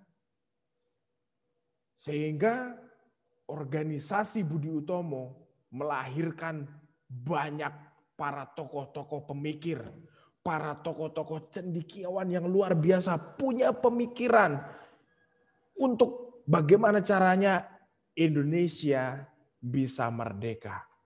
Dijelaskan atas dasar itu maka lahirlah suatu organisasi Budi Utomo. Budi Utomo lahir pada tanggal 20 Mei 1908. Budi Utomo merupakan organisasi yang bergerak di bidang pendidikan. Ya, karena mereka sadar Kala itu anak-anak Hindia Belanda, anak-anak Indonesia tidak sepenuhnya bisa bersekolah karena terbatas biaya, karena terbatas orang tuanya tidak memiliki peran. Ya. Orang tuanya tidak mempunyai pengaruh, tidak mempunyai kedudukan. Sehingga zaman kolonial Belanda, anak-anak dari orang tua yang latar belakangnya dari petani, nelayan, buruh, tidak bisa bersekolah. Itu. Jadi yang kita pelajari di minggu lalu sudah kalian cermati dan pahami dengan baik. Tidak sebanding anak-anak yang bisa baca tulis dengan anak-anak yang tidak bisa baca tulis. Ya, yang tidak bisa baca tulis terlalu banyak.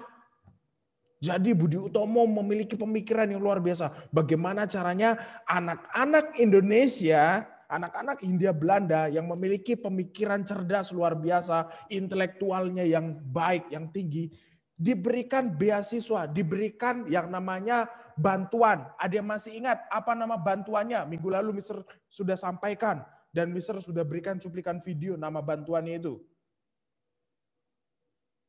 Ada yang masih ingat apa nama bantuan yang diberikan organisasi Budi Utomo kepada para pemuda yang cerdas, yang tidak mampu kala itu? Ada yang masih ingat nama bantuannya apa?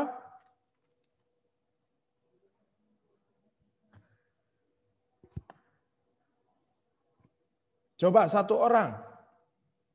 Ada yang masih ingat tidak nama bantuan yang diberikan organisasi Budi Utomo kepada para pemuda yang tidak mampu kala itu untuk dapat bersekolah?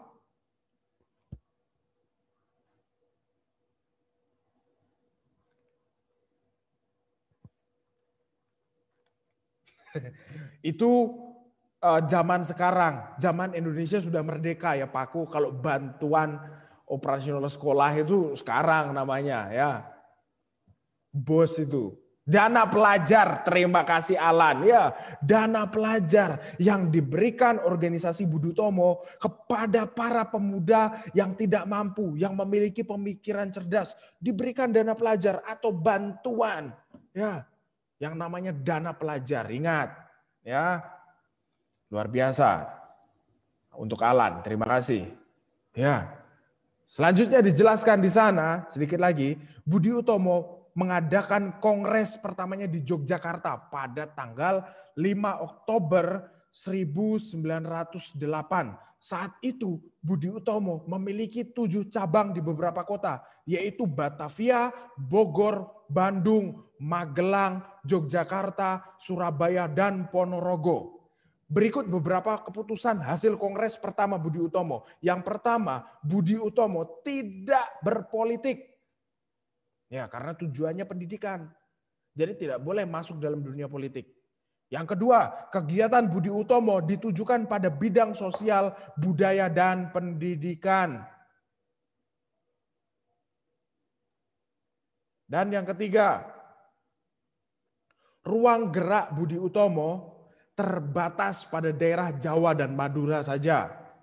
Ya, karena pada saat itu Belanda lebih mencengkramkan kekuatannya hanya di Pulau Jawa.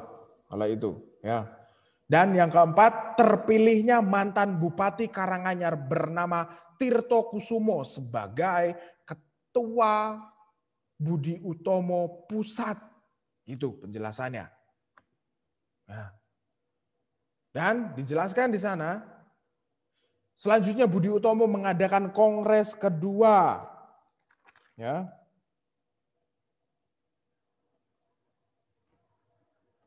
Di gedung Mataram Yogyakarta pada tanggal 10 sampai 11 Oktober 1909. Ya, kongres ini dihadiri lebih dari 300 orang. Hadirin tidak hanya orang Jawa, melainkan orang Cina dan juga orang Eropa kala itu ikut datang juga ya untuk menyaksikan untuk hadir dalam Kongres kedua Budi Utomo. Nah, ini gedungnya. Ya.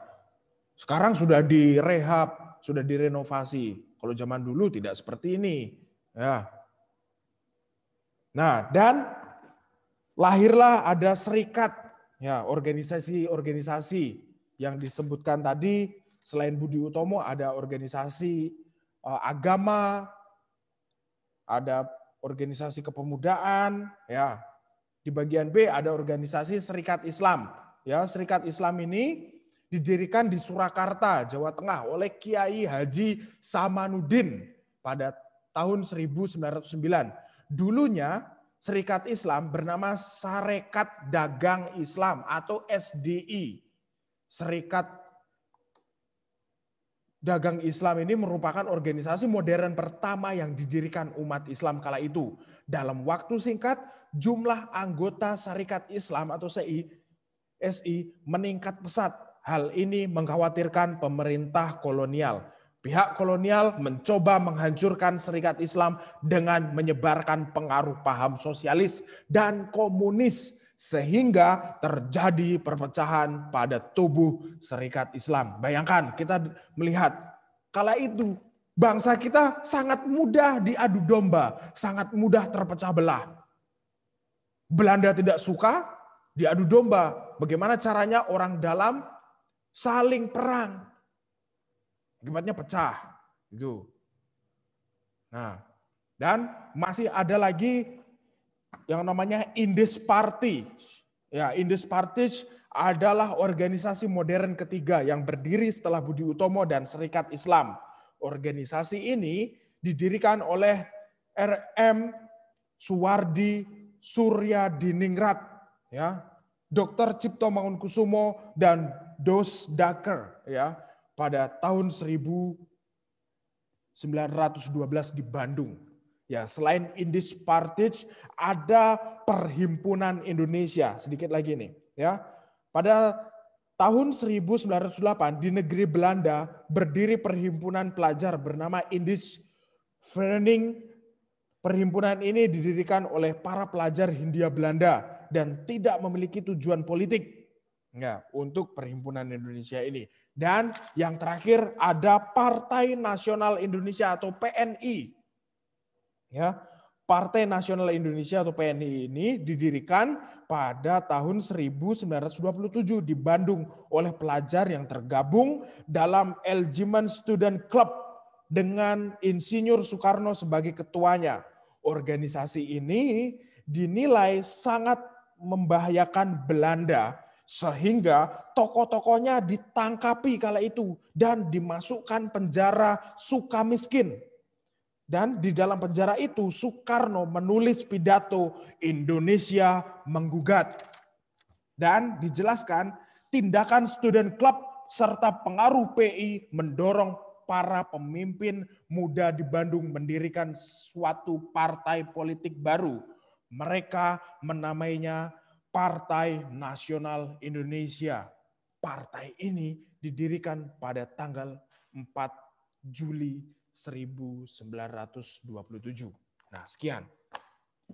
Itulah bagaimana perjalanan panjang dari organisasi yang bernama Budi Utomo. Dan kalian sudah pelajari dan melihat langsung siapakah tokoh-tokoh yang berpengaruh dalam organisasi Budi Utomo cikal bakal kebangkitan nasional ini ya sebagai runtutan sebagai langkah-langkah bagaimana caranya Indonesia bisa merdeka ini jalan-jalannya ya dan Mister akan berikan salah satu cuplikan video Mister berharap kalian bisa memperhatikan dengan baik karena nanti Mister akan berikan tugas untuk kalian ya supaya kalian bisa mengerjakannya. Ya. Mister akan berikan salah satu cuplikan video bagaimana perjalanan panjang yang dilalui oleh Panglima Besar Jenderal Sudirman. Ya.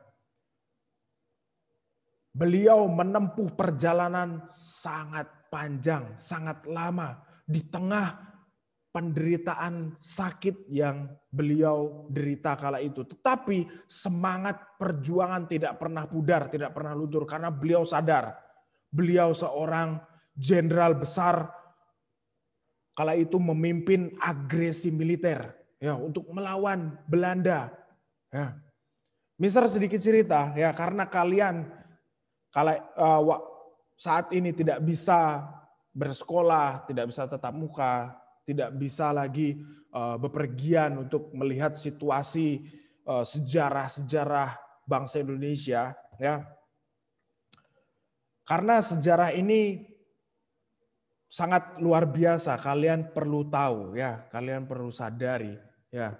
Meskipun kalian tidak dapatkan secara langsung datang ke tempat wisata, ke tempat edukasi, pembelajaran tentang sejarah bangsa kita, tetapi dari cuplikan video ini kalian bisa melihat bagaimana proses perjalanan Panglima Besar Jenderal Sudirman ya untuk memerdekakan bangsa kita.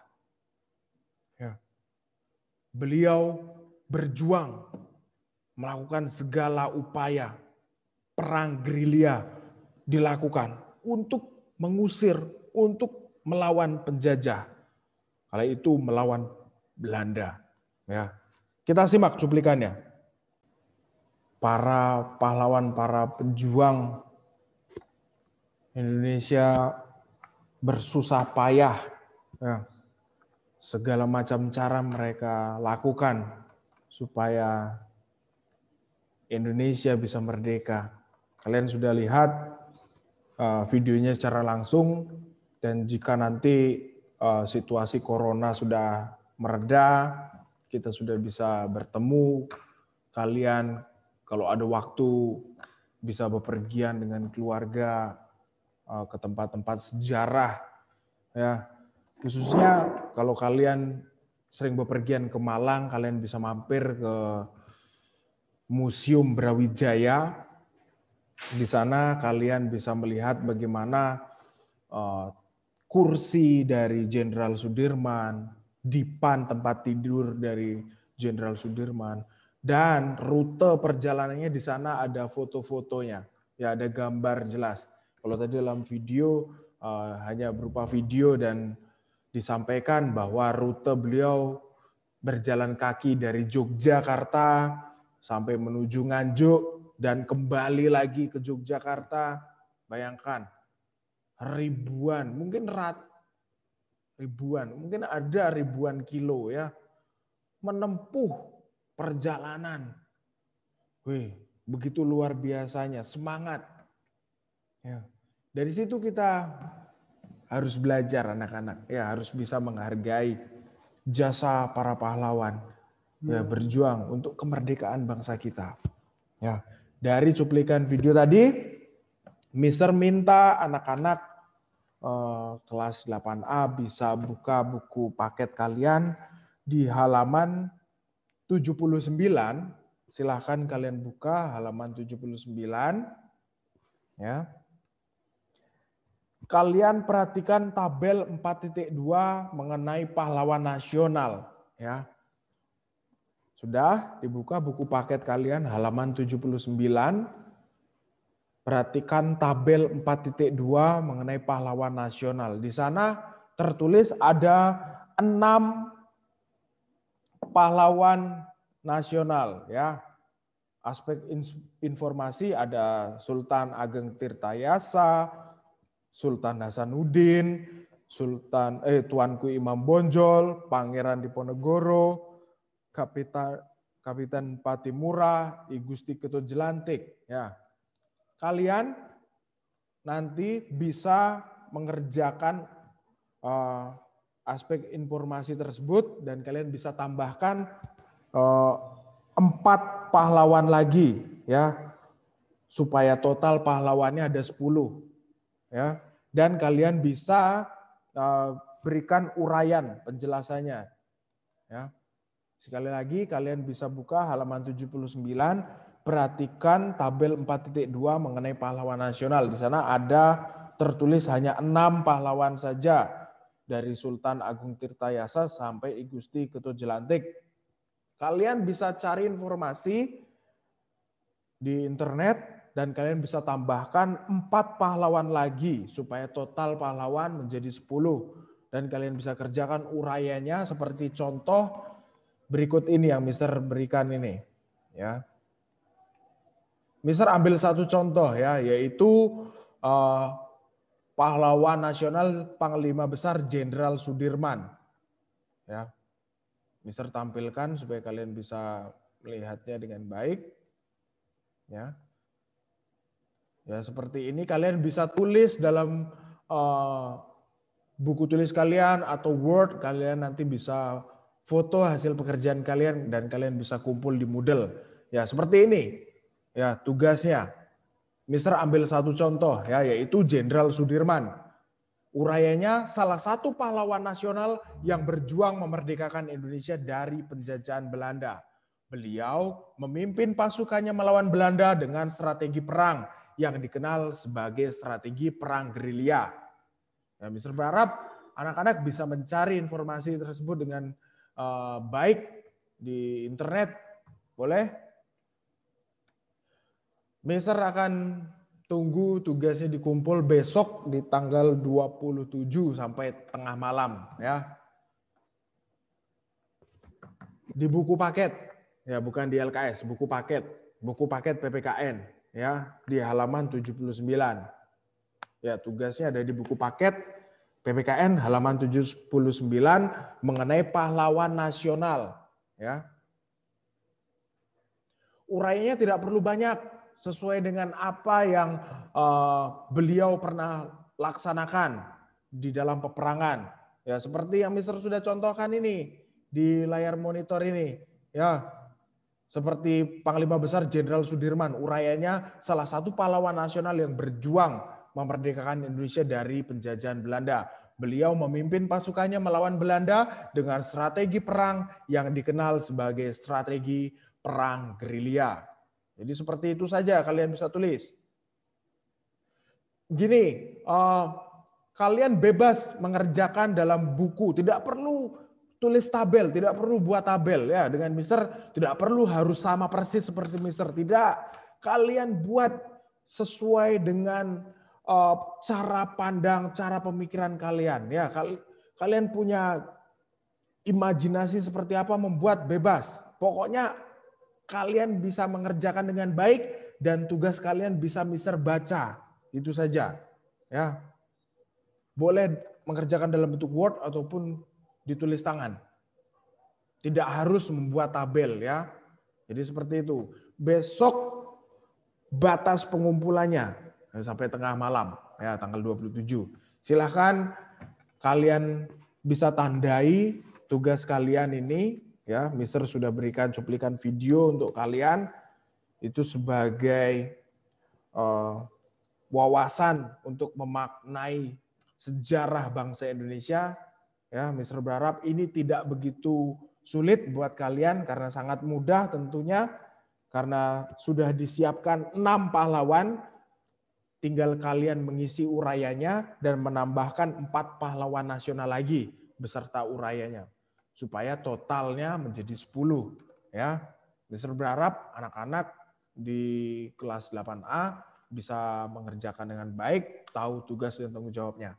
Dan nanti jika sudah selesai kalian bisa kumpul, kalian bisa foto di HP kalian dan kalian bisa upload di Moodle karena Mister sudah berikan ruang di sana. Untuk bab 4 apa yang sudah kita pelajari di semester 2 mengenai Eh, kebangkitan nasional 1908 dalam perjuangan kemerdekaan Republik Indonesia.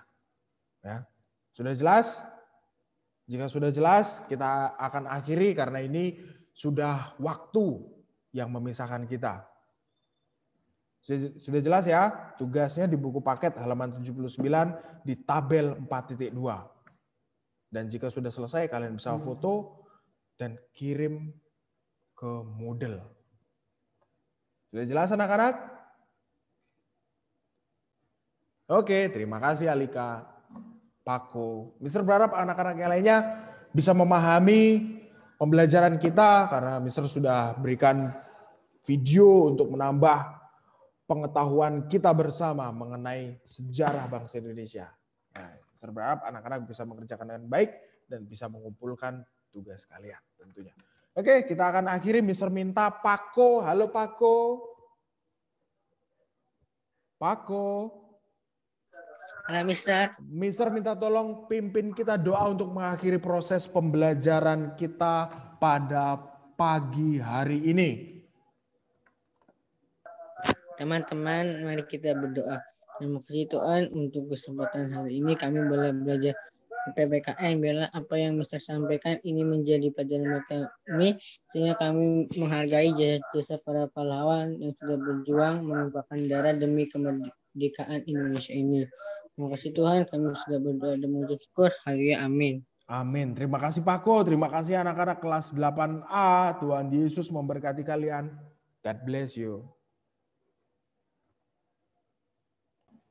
uh, penugasannya akan Miss Devi share uh, di sini gitu ya. Jadi Oke, sebentar dulu. Nah, ini adalah penugasannya ya. Nah, ketika kalian diberi tugas, Miss Devi harap kalau bisa hari ini selesai, hari ini selesai ya. Jadi tugas pelajaran agama dan budi pekerti diambil dari uji kompetensi 3 buku agama dan budi pekerti halaman 88 sampai 91 hanya soal pilihan ganda saja. Nomor 1 hmm. sampai nomor 30 hanya tulis jawabannya saja. Pertanyaannya nanti kalian bisa uh, ditulis di mana jawabannya. Jadi sudah dijawab ya sama Mas Diani, jawabannya bisa di buku tulis, kalian tulis jawabannya saja ya. Atau kalian tulis di kalian ketik di Word-nya terus kalian nanti tinggal kirim gitu ya di Moodle-nya gitu. Miss Devi harap sih kalau misalkan A, A itu apa gitu ya, B, B itu apa, jangan A, B, C, jangan hanya A, B, C, D-nya ya. Jadi supaya tidak rancu antara B dengan A, misalkan seperti itu ternyata ketiknya kurang A dengan D atau A dengan C karena tertutup kurang. Jadi diperjelas gitu ya. A itu apa, B itu apa gitu ya. Sampai di sini apakah Kalian semua paham? Kalau paham, boleh kasih Miss Devi reaction? Oke, yang paham cuma satu saja. Yang tidak berikan reaction, apakah tidak paham? Ada, apakah ada yang mau ditanyakan? Oke, thank you buat reactionnya. Selamat mengerjakan, Tuhan memberkati ya. Iya, Oke, baik. Selamat siang, semangat uh, selamat siang, semangat selalu anak-anak. Halo, anak-anak kelas 8A. Masih ada di sana? Oke, baik. Terima kasih untuk reaksinya. Seperti biasa, mari terlebih dahulu di awal pertemuan kita menyalakan kamera. Silahkan. Bagi yang kameranya tidak bermasalah, silahkan dinyalakan kameranya. Oke, sudah ada Verisa Yuliana di sana. Selanjutnya, oke, ada uh, Pako. Mohon bersabar sebentar ya. Jangan sepir sekian detik langsung hilang. Oke, ada Erika Gabriela. Ada Pako. Ada mana? Teodorisa. Halo Teodorisa tadi. Oke, Teodorisa ada di sana. Ya. Oke, lalu yang lain silahkan Areta tadi. Areta.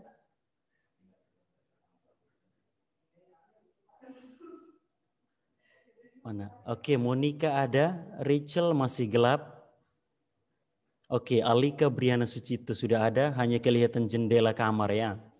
Oke. Oke, Rachel ada di sana. Wayan Nara juga ada di sana. Oke. Baik, yang lain? Oke. Evra, Evra ini alasannya bervariasi. Saya nggak pakai webcam, Mister. Kalau kemarin lalu Oke, baik. Wih, ngeri. Wika, Wika ngeri editannya ya. Sadis. Ya yang lain yang kameranya tidak bermasalah silahkan dinyalakan. Wih, Rachel juga ini ngeri. Lampu lampu ini apa ya? Wih. Ngakak di situ. Ya, oke okay, yang lain. Ya yang lain segera menyusul apabila kameranya tidak bermasalah. Selain yang tadi sudah nyalakan kamera. Selain itu banyak-banyak ini kameranya bermasalah semua ya. Oke. Ya, di kelas ini harusnya ada 23 anak ya, 23 anak di Zoom. Harusnya ada 23 anak tetapi di sini baru 20, tiga orang belum ada. Oke, Wayan Nara sudah sekali lagi memunculkan diri yang lain. Alan Brian tadi sudah? Oke, baik. Yang lain mungkin belum bersedia ya untuk menyalakan kamera ya. Oke. Baik, entah tidak tahu takut mungkin karena sementara tidak pakai seragam kah atau sementara di mungkin di manakah gitu. Sementara di apa? Mall mungkin. Iya. sementara di mall sambil Zoom. Oke, baik. Atau sementara tidur kah, makan kah? Ya. Baik, kalau begitu yang tidak bersedia menyalakan kamera akan uh, seperti biasa Mister akan sapa satu persatu. Silahkan beri reaksi. Uh, Alan Brian Frederick.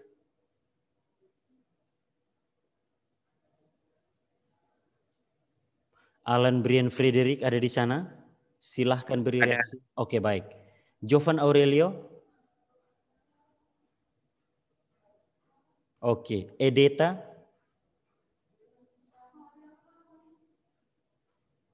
Oke, Evra. Ada, Ustaz. Oke. Nicholas Nathaniel. Oke, Milo. Oke, Kesia Grace. Hadir. Oke, Goldie. Hadir, hadir. Uh, itu di mana Goldie itu? Di rumah, di rumah. Oh, kayak di tempat parkir ada yang bilang mundur, mundur, maju, maju gitu. Oke.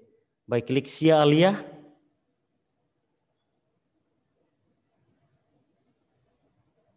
Lixia ada di sana?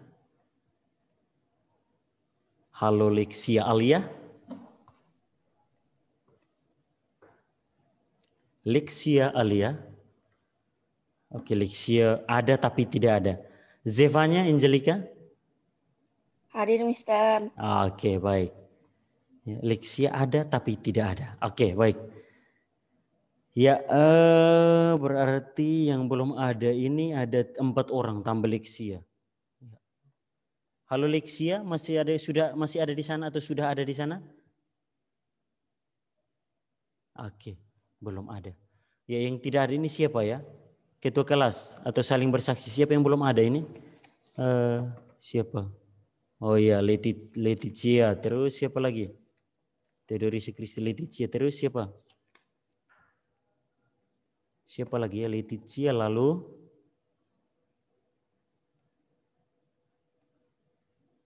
Ayo saling bersaksi yang di Zoom ini yang belum ada Leticia lalu Oh Fabian ya, Fabian Irwindio. Fabian Irwindio dan oh iya Elita ya. Elita. Oh iya.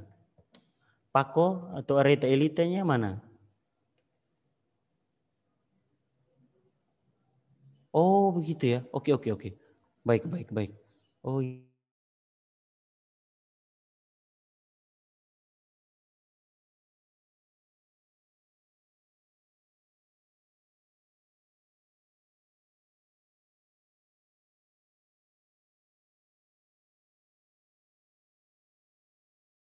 Oh iya, oke okay, baik. Kalau Elita, yang tahu kabarnya Elita, adakah?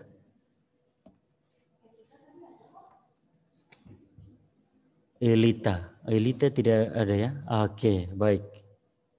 Semoga yang belum ada segera bergabung.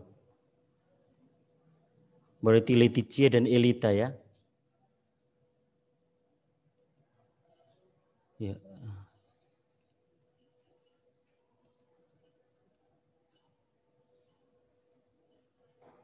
Oke, yang tahu kabarnya Elita bisa segera nanti dikabari. Oke, Lexia sudah di sana?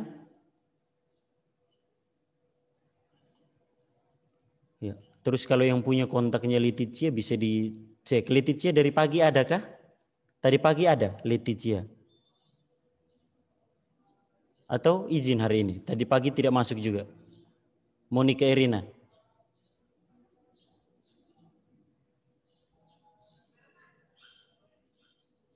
Monica Erina, uh, Leticia tidak ada kah? Dari pagi tadi kah? Tidak ada info, Mister. Oh, dari pagi tidak ada? Iya, Mister. Oh, oke, okay, baik. Siap. Oke, okay. baik. Terima kasih. Berarti Leticia yang dari pagi tidak ada, lalu Elita tadi ada, sempat ada ya, tapi belum bergabung kembali. Lalu Lexia, tidak tahu. Lexia masih sudah ada di sana, lalu Lexia, Alia, Oke, belum ada. Baik, mari kita melanjutkan kegiatan kita dengan berdoa terlebih dahulu. Silahkan Monica Irina pimpin kita dalam doa.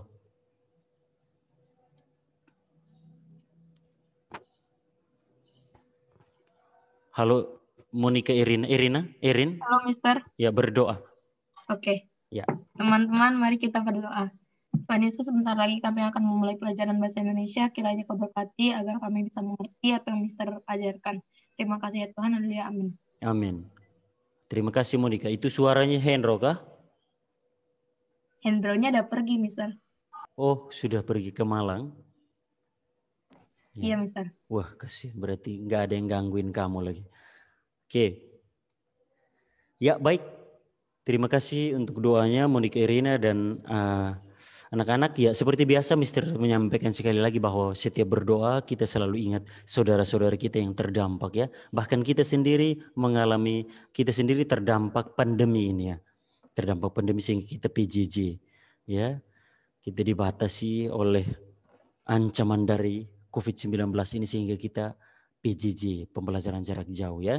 Oke, lalu seperti biasa saudara-saudara kita di dalam negeri ya, di negeri kita tercinta NKRI, NKRI Negara Kesatuan Republik Indonesia yang mengalami beberapa bencana di beberapa tempat.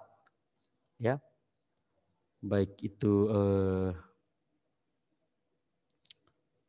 banjir, eh, gempa bumi maupun tanah longsor ya dan kecelakaan pesawat mungkin motor mobil ya macam-macam ya kita berdoa semoga yang pertama yang mening yang uh, sampai meninggal dunia semoga amal ibadah mereka diterima di sisi Tuhan keluarga yang ditinggalkan diberi kekuatan dan ketabahan. Lalu bagi mereka yang kehilangan harta benda semoga pemerintah segera memberi bantuan. Bahkan kita juga kita sekalian ya sekarang dunia mudah diakses ya. Ya, misalkan mau bantu ada nomor rekening tinggal transfer berupa uang. Kalau mau apa kalau mau kirim apa berupa apa, barang baju pakaian itu biasanya juga ada biasanya ada tim-tim khusus untuk bantuan itu. Ya. Ya, oke anak-anak. Itu adalah doa kita untuk saudara-saudara kita ya. Sekarang mari kita melanjutkan materi kita. Seperti biasa di pertemuan awal ada beberapa pertanyaan. Dan pertanyaan yang mungkin Mr. Uli sama. Pertanyaan pertanyaan yang sama.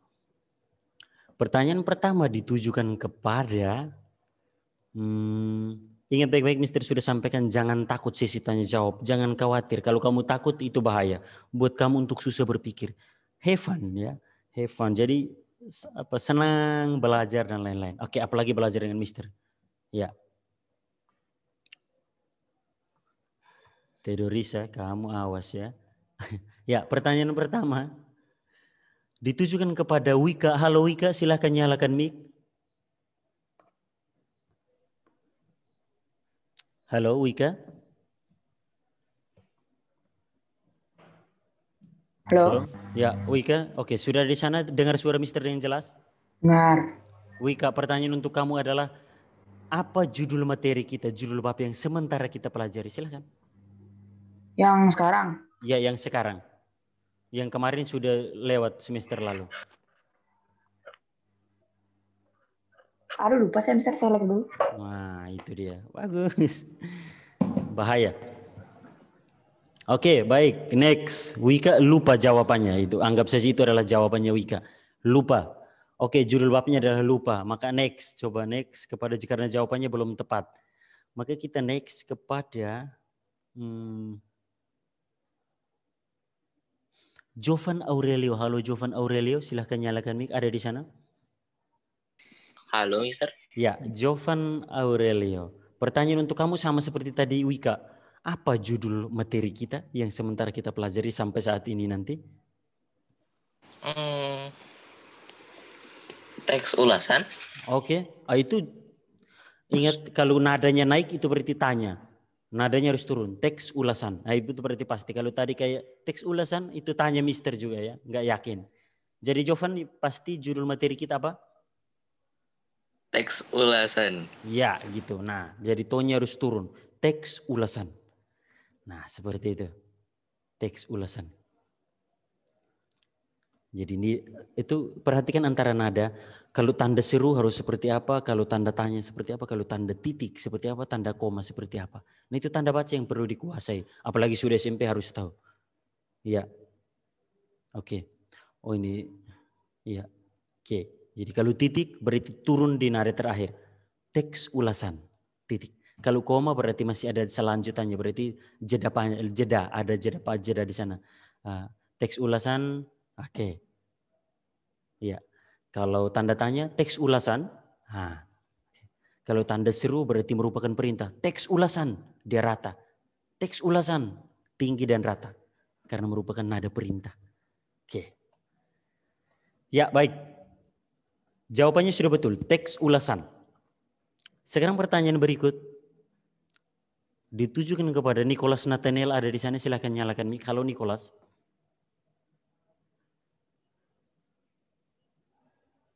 Nicholas Nathaniel ada di sana?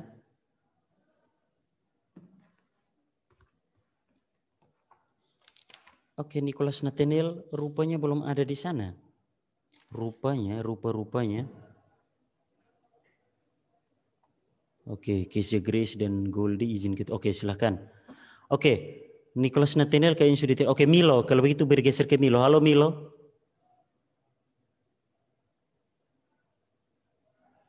Halo Milo. Oh, anak-anak. Oh, Milo ada. Bisa nyalakan mikinya atau mikinya bermasalah?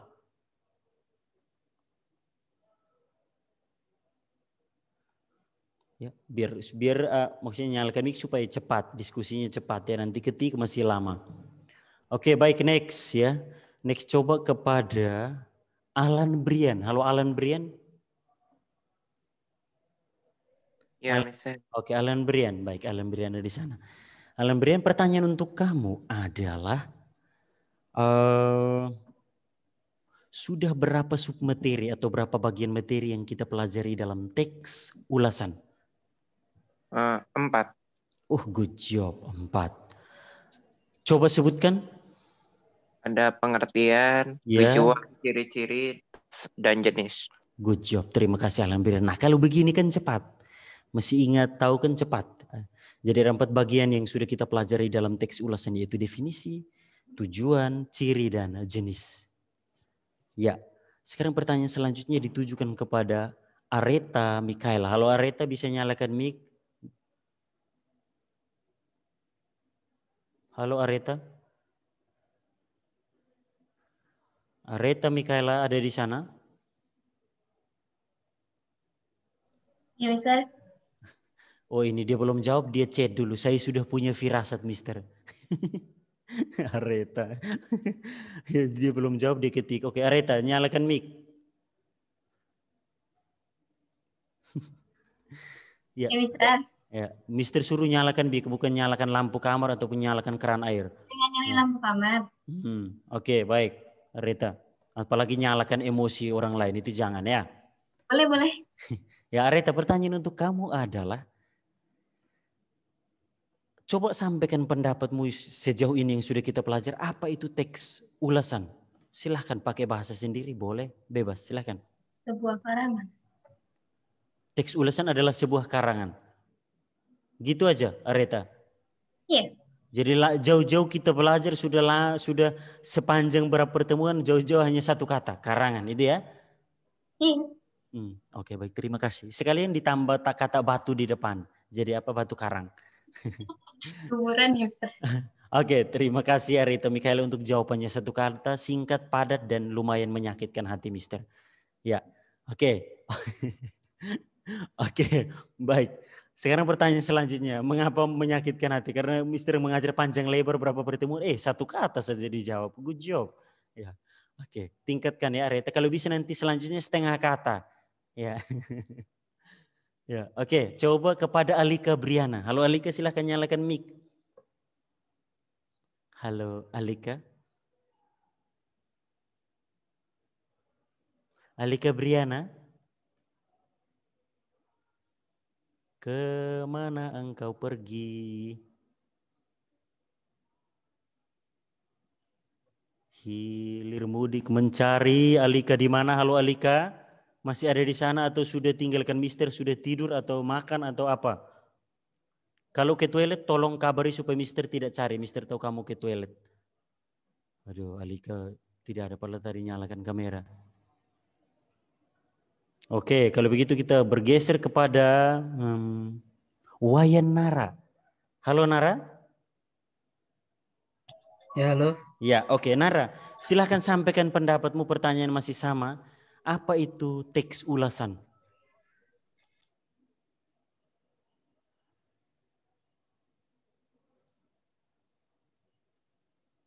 Hmm. Selesai pertanyaan langsung hilang kah? Halo Nara? Halo. Nara? Ya bagaimana? Sila- teks ulasan tuh teks yang berisi pembahasan atau penilaian terhadap buku atau karya-karya lain. Oke, nah itu kan good job. Berisi eh, pendapat atau penilaian terhadap eh, buku atau film atau karya-karya yang lain. Nah itu jawaban begitu lumayan. Ini Areta, apa itu teks ulasan? Karang Mister. Nah, kalau tambah batu di depan pas sudah. Oke, terima kasih Wayanara untuk jawabannya. Sekarang satu lagi pendapat dari eh, dari eh, Pako. Wih namanya IPC ya, Itamar Pako Christian. Halo IPC, silahkan nyalakan mic. Halo IPC. Ya nyalakan mic, Mister tidak minta reaksi, nyalakan mic, Mister mau tanya. Nanya apa, Mister? Oh iya, iya, Mister nanti tanya. Yang penting kamu jawab dulu. Halo Pako ada di sana? Loh, saya udah jawab, Mister. Oh iya iya, oke. Nah sekarang jawab ya. ya, oke IPC. Pertanyaan untuk kamu adalah ini IPC. Pertanyaannya masih sama seperti tem- eh, tadi untuk Areta dan Wayanara. Silahkan sampaikan pendapatmu IPC. Menurut kamu apa itu teks ulasan sejauh pengalaman kita belajar sampai saat ini? Silahkan IPC jawab sekarang. Pakai kata-kata sendiri ya, Mister ya? Iya boleh variasi pakai kata sendiri. Yang penting intinya sama seperti yang kita pelajari. Itu silakan. Eh, teks ulasan itu adalah eh, teks yang berupa komentar tetapi tidak eh, menyakiti hati orang. Teks yang apa? Oh, teks ulasan itu adalah teks yang berupa komentar tetapi tidak menyakiti hati. Oke, baik bagus variasi ada varian jawaban bagus ya. Dari dari IPC itu dia mengatakan bahwa eh, teks yang berisi komentar tetapi tidak sampai menyakiti. Oh begitu ya. Jadi dekat tapi tidak sampai temanan gitu mungkin maksud IPC begitu. Ya. Oke, baik. Terima kasih untuk jawabannya. ya. Semakin bervariasi jawaban. Coba kalau begitu harus satu jawaban lagi. Hmm, coba ah, Edeta, Edeta Kalajna ada di sana. Halo Edeta, bisa nyalakan mic? Ya, Edeta bagaimana?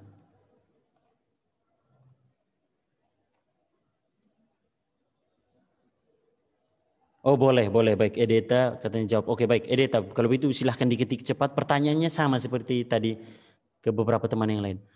Menurut kamu silahkan apa itu teks ulasan sejauh pengalamanmu yang sudah kita belajar bersama sampai saat ini. Silahkan.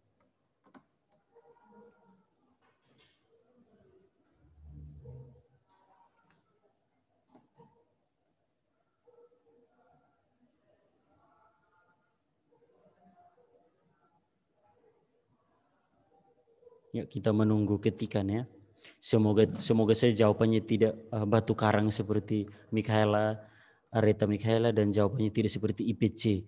eh, dekat tapi tidak sampai jadi teman. Nah, itu jawabannya.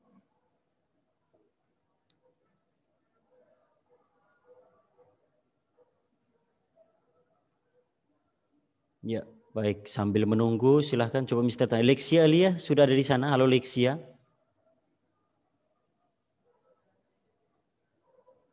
Oh, sudah ada di sana ya. Bagus Lexia, baik. Selamat bergabung ya setelah jam 12 lebih. Oke.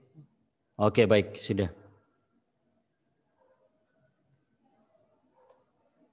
Oh, belum. Ternyata ini ketikan dari Areta. Katanya Mister mau mau saya obatin supaya Ingat baik-baik saja. Oke, baik. Sudah ada jawaban dari Edeta. Mister akan bacakan. Menurut Edeta, oh Lexia, oke, baik. Baik Lexia, tidak apa-apa. No problem, but you have to tinggalkan pesan untuk Mister supaya Mister tahu kamu tadi ke toilet. Oke. Oke, Edeta menjawab bahwa teks ulasan menurut dia adalah teks yang mereview atau memberi pendapat dari orang itu sendiri mengenai karya milik orang lain seperti drama atau buku. Oke. Ah, ini Mister belum selesai baca, dia sudah ketik lari.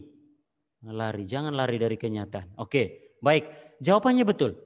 Jawaban yang tadi kalian berikan itu betul. Ereta mengatakan bahwa berupa karya uh, teks di, ulasan itu adalah sebuah karangan. Iya betul, karangan.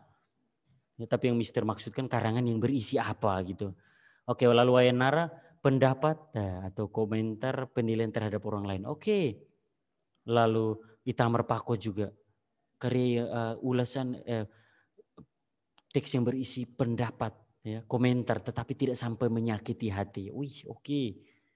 Lalu Edeta juga tadi jawab ya tapi sebelum Mister selesai baca dia sudah lari. Semoga cepat kembali ya supaya kita ikuti pembelajaran. Oke, okay. Efra, seperti yang telah disebutkan sebelumnya, pengertian teks ulasan adalah suatu teks yang berisi ulasan penilaian atau review terhadap suatu karya baik itu buku, drama, musik atau mungkin film. Nah, kau pakai kata mungkin di situ. Oke, baik. Terima kasih pendapat oleh Evra juga. Ya, baik. Meskipun Mister tidak tanya. Terima kasih. Itu proaktif namanya. Bagus. Ya, oke. Kita sudah sedikit melihat kembali materi-materi yang sudah kita lalui. Mengapa Mister bertanya berkali-kali? Karena ada. Itu ada cara penilaian Mister tersendiri terhadap pembelajaran yang sudah kita lalui. Ya, Ingat atau tidak? Ingat atau tidak? Lalu yang berikut Mister selalu masuk dan tanya pengertian. Mengapa demikian? Mister sudah sampaikan bahwa dalam sebuah bab Pengertian itu adalah hal utama yang menjadi dasar. Ya, hal utama yang menjadi dasar, konsep utama supaya kita tahu. Jadi nanti selanjutnya ciri, tujuan, fungsi itu uh, ciri sama fungsi dan lain-lain itu merupakan rincian atau bagian kita akan melihat lebih dalam. Tapi konsep utama yang penting kau tahu, oh teks ulasan ini, ini, ini. Utamanya ini. Nah seperti itu. Itu kalau kamu tahu konsep utamanya maka akan aman. Seperti itu. Oke, di kabar dari IPC bahwa Elita sementara dihubungi. Oke, terima kasih IPC. Ush, sekarang panggilannya IPC ya. Enggak sekalian Ipman saja ya. Boleh panggil Ipman? Nah, IPC? Ipman. Oke. Baik. Sekarang kita akan melanjutkan materi kita. Mohon stay di Zoom. Coba Mister akan buktikan silakan yang masih stay di Zoom beri reaksi supaya Mister tahu.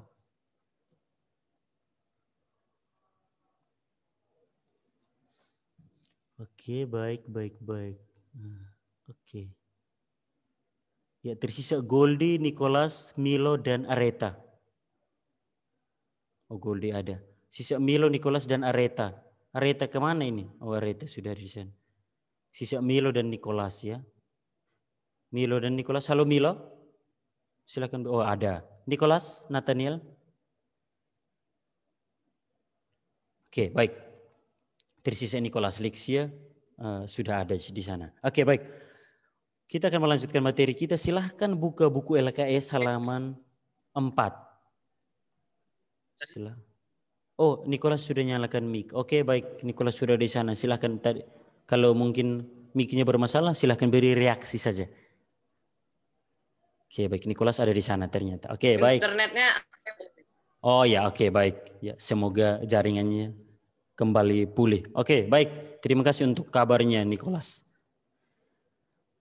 Oke, sekarang Mister akan share screen. Silahkan sebelumnya buka LKS halaman 4. Buka LKS halaman 4. Siang ini kita akan membahas identifikasi informasi penting dalam teks ulasan. Ya, silahkan Mister himbaukan untuk buka buku LKS karena tahu Mister akan minta untuk baca kalau belum baca tiba-tiba Mister suruh dan belum berarti ketahuan bahwa eh, belum membuka buku. Oke, halaman 4, poin B. Silahkan eh, Zevanya ada di sana. Halo Zevanya bisa nyalakan mic. Zevanya. Oke, Zevanya silah silahkan baca poin B itu judulnya apa ya? identifikasi informasi penting dalam teks ulasan. Good job. Lalu nomor satu apa? Eh, lalu di bawahnya? Aspek-aspek penting dalam teks ulasan. Terima kasih, Zevanya Angelika. Good job. Oke, baik. Nah, kalau begitu kan jadi Mister tahu, oh ada di sini. Aktif. Anak-anak belajar dengan Mister senang-senang, happy. Jangan sampai tertekan. Itu bukan gaya belajar bersama Mister. Ya oke, baik. Ya, jadi kita sudah belajar teks ulasan, judulnya. Ini jangan sampai lupa. Hari Kamis, eh hari Jumat, Mister akan tanya lagi. Lalu kita sudah belajar pengertian atau definisi. Kita juga sudah belajar tujuan.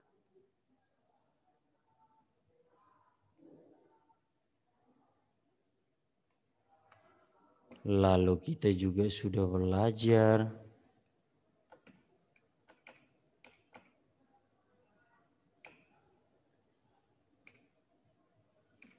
ciri-ciri. Lalu kita juga sudah belajar jenis-jenis. Dan kita hari ini akan masuk ke aspek penting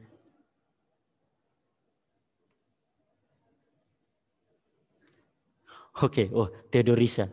Theodorisa, Mister, will we have a homework?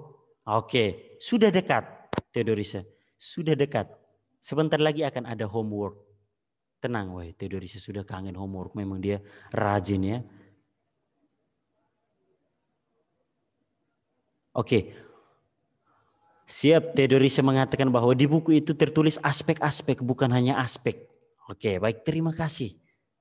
Baik, oke. Terima kasih untuk penyampaiannya. Baik, aspek-aspek penting dalam teks ulasan. Oke, baik. Oke, okay, Theodorisa fine. gitu ya. Kalau orang oke okay, fine. Ya. Nah. Oke, okay, fine. Hmm. Oke, baik. Nah, sudah. Aspek-aspek penting dalam teks ulasan. Oke, baik. Kalau begitu Theodorisa kamu langsung menjawab karena kamu mau itu Nah oke okay, baik ini ada pertanyaan bagus. Sebelum kita masuk ke aspek-aspeknya, Theodoris ada melakukan komentar. Bagus. Baik. Uh, komentarnya adalah Mister itu kata aspek yang kedua A-nya enggak huruf besar. Bagus. Siapa yang tahu jawabannya? Bisa langsung nyalakan mic, jawab atau melalui chat silahkan. Siapa yang bisa menjawab komentar dari Theodorisa ini? Theodorisa mengatakan bahwa Mister itu kata aspek uh, kata aspek yang kedua, keduanya enggak huruf besar. Oke, baik. Oke, Areta bilang, tapi di buku besar, Mister. Oke. Theodorisa mengatakan lagi, di buku itu huruf besar, Mister. Oke, baik. Ini bagus ini, ini baru komentar bagus ini. Ini Mister berarti Mister akan, oh jawaban Pako bagus ya. Terserah orangnya dong mau kecil apa besar. Pako itu bukan jawaban seorang pendidik, bukan begitu. Jadi kita di lingkungan pendidikan tidak jawabnya bukan begitu. Oke. Okay.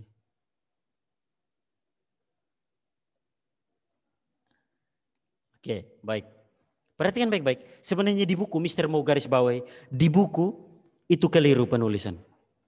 Di buku itu keliru penulisan. Dengar baik-baik. Cara penulisan kata ulang.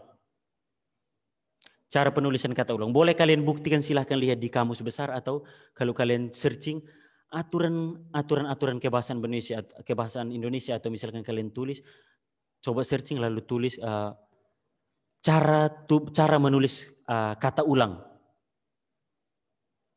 Ya. Ya, jadi perhatikan di sana. Nah, Sebenarnya tulisan di buku, Mister mau ulangi, tulisan di buku nomor satu aspek-aspek itu keliru. Kata aspek yang kedua itu keliru. Nah, mari kita buktikan. Kita buktikan logikanya seperti ini. Mister akan membuka logika kalian. Ya, dengan cara seperti ini. Oke, Mister stop share. Kita membahas ini. Ini membantu kalian dalam hal kebahasaan biar kalian kuasai. Begini, Mister mau uh, sampaikan. Uh, kalau yang tadi uh, aspek-aspek itu disebut istilah untuk menyebut kata itu namanya kata apa? Silakan jawab dulu. Siapa yang masih ingat?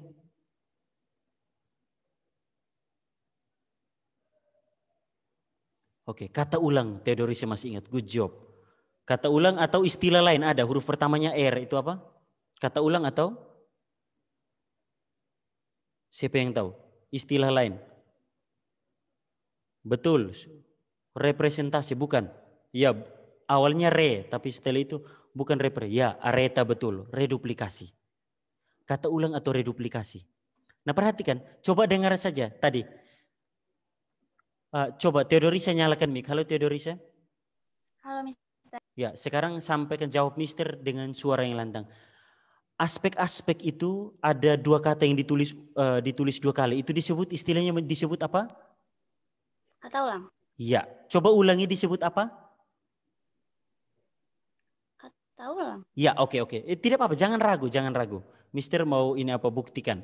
Nah, sebut coba ulang dengan perlahan dan keras. Disebut apa kata apa? Kata ulang. Oke, terima kasih Teodorisa. Eh, tidak usah tambah ngambeknya, jangan. ya, oke. Perhatikan baik-baik anak-anak. Seperti yang disampaikan oleh Teodorisa bahwa apa? Itu namanya kata ulang. Nah, perhatikan di depan namanya apa? Kata. Nah, aturan penulisan kata berarti begini, perhatikan baik. Kalau namanya kata ulang, berarti itu terhitung satu kata. Nah, seperti itu. Itu. Jadi ciri-ciri, jenis-jenis, aspek-aspek itu sebenarnya tidak disebut dua kata, tapi dia hanya satu dia kata, satu kata. Satu kata untuk menyebut hal yang lebih dari satu. Itu kata ulang. Nah itu dia. Jadi namanya kata. Berarti dia terhitung satu kata meskipun tertulis dua kata. Nah maka dari itu namanya aturan kebahasan kalau tulis awal kata pasti huruf kapital. Awal kata dalam awal sebuah kalimat pasti huruf kapital. Nah itu jawabannya. Bagaimana sudah pahamkah yang Mister sampaikan? Mengapa hanya A, A yang A pertama yang kapital? Karena aspek-aspek ini satu kata. Sama seperti penting. Nah, penting ini dia satu kata. Nah aspek-aspek ini juga satu kata, namanya kata ulang. Jadi kalau tulis kapital cukup di awal saja. Ya, yang berikut ini terhitung lanjutan dari ini. Nah, seperti itu. Ya, kalau judul semuanya huruf besar bisa. Nah, kalau itu ada lagi, kalau ilmu bahasa itu banyak. Teodorisnya mengatakan bahwa saya kira judul. Soalnya kalau judul semuanya huruf besar ada dua jenis penulisan judul dalam bahasa Indonesia. Yang pertama kapital semua, yang kedua huruf pertama tiap kata kapital, kecuali konjungsi. Contohnya seperti yang ada di hadapan kalian. Aspek-aspek, ini satu kata, A-nya kapital. Penting, ini P-nya yang kapital. Dalam, nah dalam ini mengapa dikecil? Karena dalam adalah konjungsi atau kata penghubung. Kata penghubung dalam penulisan, aturan penulisan dalam bahasa Indonesia, dia harus pakai huruf kecil. Kecuali kalau misalkan judulnya pakai kapital semua berarti konjungsi juga kapital. Semuanya kapital semua. Nah, bahasa Indonesia kompleks akan aturan anak-anak. Teks, nah ulasan. Seperti itu. Tapi kok yang dalam gak huruf besar Mister? Tadi sudah Mister sudah jawab. Kalau dalam penulisan judul seperti ini, huruf pertamanya kapital, yang lain huruf kecil, maka konjungsi dan atau dalam dan banyak sekali macam-macam kata penghubung atau konjungsi itu ditulis dalam huruf kecil. Seperti itu jawabannya. Oke baik, sekarang kita akan masuk ke materi kita. Sekarang kita akan masuk ke, bagaimana sudah paham ya? Sudah paham yang Mister sampaikan? Oke, baik, good job. Tedorisa mudah-mudahan selalu ingat ya. Baik, Tedorisa aktif dan ingat, good job. Semoga yang lain juga bisa turut seperti itu ya. Oke, baik. Sekarang kita akan lihat aspek-aspek penting dalam teks ulasan halaman 4. Ada empat hal di situ. Kita lihat one by one atau satu persatu. Yang pertama namanya identitas karya. Yang pertama namanya identitas karya. Nah identitas karya itu seperti apa? Nah perhatikan baik-baik. Aspek-aspek ini akan ada di dalam hasil karya kalian yang namanya teks ulasan. Akan ada. Perhatikan baik-baik sekali lagi Mister mau sampaikan bahwa apa? di dalam hasil karya kalian atau proyek yang menjadi nilai ulangan, hal-hal ini akan ada di dalam ulasan kalian. Yang pertama namanya identitas karya. Nah, identitas karya itu artinya apa? Artinya dalam teks ulasan, nah, kalau kamu mau lihat contoh nanti di bagian di sekarang di halaman di hadapan kalian LKS, halaman 5 di samping kanan kalian itu contoh. Contoh kalian akan menghasilkan sebuah teks ulasan seperti yang ada di kanan itu nanti. Ya, seperti yang ada di kanan kalian di halaman depan eh, berhadapan dengan buku bagian kanan halaman 5. Jadi yang pertama namanya identitas karya. Identitas karya itu macam-macam. Nah, perhatikan di situ. Misalnya, kalau buku, nah, kalau buku, kalau buku identitas karya itu kamu bisa tulis judulnya apa, pengarangnya siapa, penerbitnya uh, apa, penerbit. Tahu kan penerbit seperti Pilar atau Gramedia, itu penerbit-penerbit. Ya, penerbit tahun terbitnya kapan dan uh, tebal halaman berapa. Dan bukan hanya itu, bisa macam-macam. Boleh, Mister selalu beri kebebasan. Silahkan misalkan judul buku, penulisnya siapa, penerbitnya apa, kota terbitnya di mana, tahun terbitnya kapan, macam-macam. Tebalnya berapa halaman, jenis kertasnya apa, silahkan. Itu namanya identitas karya. Jadi tidak apa-apa, tidak dibatasi. Silahkan kumpulkan informasi sejauh uh, identitas karya tersebut. Itu kalau buku. Ya, jadi nanti dalam teks ulasan kalian seperti minim, minimalnya seperti halaman 5. Itu ada judulnya apa, judul bukunya apa, atau judul filmnya apa. Penulisnya siapa, penerbitnya mana, kota terbitnya di mana, tahun terbitnya kapan, jumlah halamannya berapa, seperti itu. Silahkan dikumpulkan informasi sebanyak mungkin tentang identitas karya. Nah itu kalau tentang buku. Identitas karya kalau kalian akan mengulas film, berarti itu di dalamnya itu akan ada judul filmnya apa, aktornya siapa. Nah aktor yang di sini, aktor yang Mister maksud di sini itu adalah kalian tidak perlu menyebutkan semua. Ya, kalian tidak perlu menyebutkan semua. Kalian cukup sebutkan ah, biasanya pemeran utama, pemeran utama.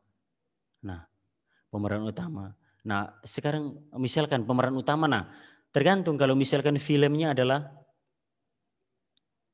oke, okay, uh, ini Mister harus tanya kepada uh, Rachel. Halo, halo Rachel, bisa nyalakan mic, Rachel?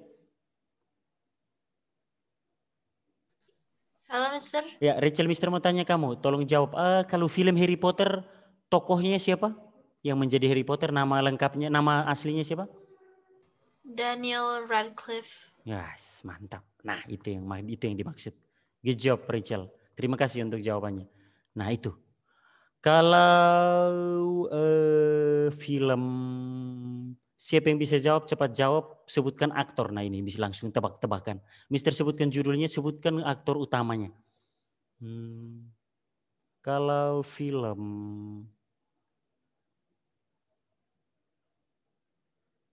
uh,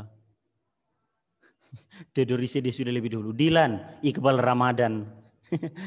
ya, kalau film misalkan sabar Mister itu kok bahasa saking apa? Lupa jadinya yang mana. Oke, kalau misalkan uh, nah, sekarang tadi Harry Potter. Sekarang kalau misalkan Mister tanya, tokoh yang berperan di dalam Avengers. Nah, kalian sebut siapa saja? Oke Rachel, silakan sebutkan mulai dari satu persatu. Nama nama nama perannya baru nama tokohnya. Iron Man Robert Downey Jr. Uh, Spider-Man Tom Holland, terus uh, uh, si siapa sih yang Hulk itu Mark Ruffalo, terus uh, Thor itu Chris Hemsworth, yes. terus Star Lord itu Chris Pratt, terus um, Captain America? Captain America Chris Evans. Wah, mantap. Terus uh, hmm. uh, Black Ant Widow Scarlett Johansson. Ant-Man? Saya lupa, Mister. Oke, okay. wis luar biasa. Oke, okay. Pako silahkan tambah silahkan. Pako mau nambahkan silahkan nyalakan mic lalu jawab. Saya ya. Oh, tadi kamu angkat tangan untuk apa? Dok, Dokter eh. Strange. Ya, itu apa? Itu apa? Hmm? Dokter Strange yang berperan siapa? Kalau Hmm. Kalau apa? Silakan. Tidak apa-apa, sampaikan pendapatmu. Kamu mau tadi mau jawab apa? Silakan, Pak. Hmm. Kalau siapa? Tadi kamu mau nambahkan siapa lagi? Ya, yang belum disebutkan dokter dokter Strange. Kalau Black Widow itu oh udah ya. Sudah, sudah Black Widow sudah oleh Rachel. Siapa lagi? Yang belum itu dokter Strange. Thanos. Ah, oke, okay, baik. Kalau Thanos oke okay, baik Theodoris. Thanos.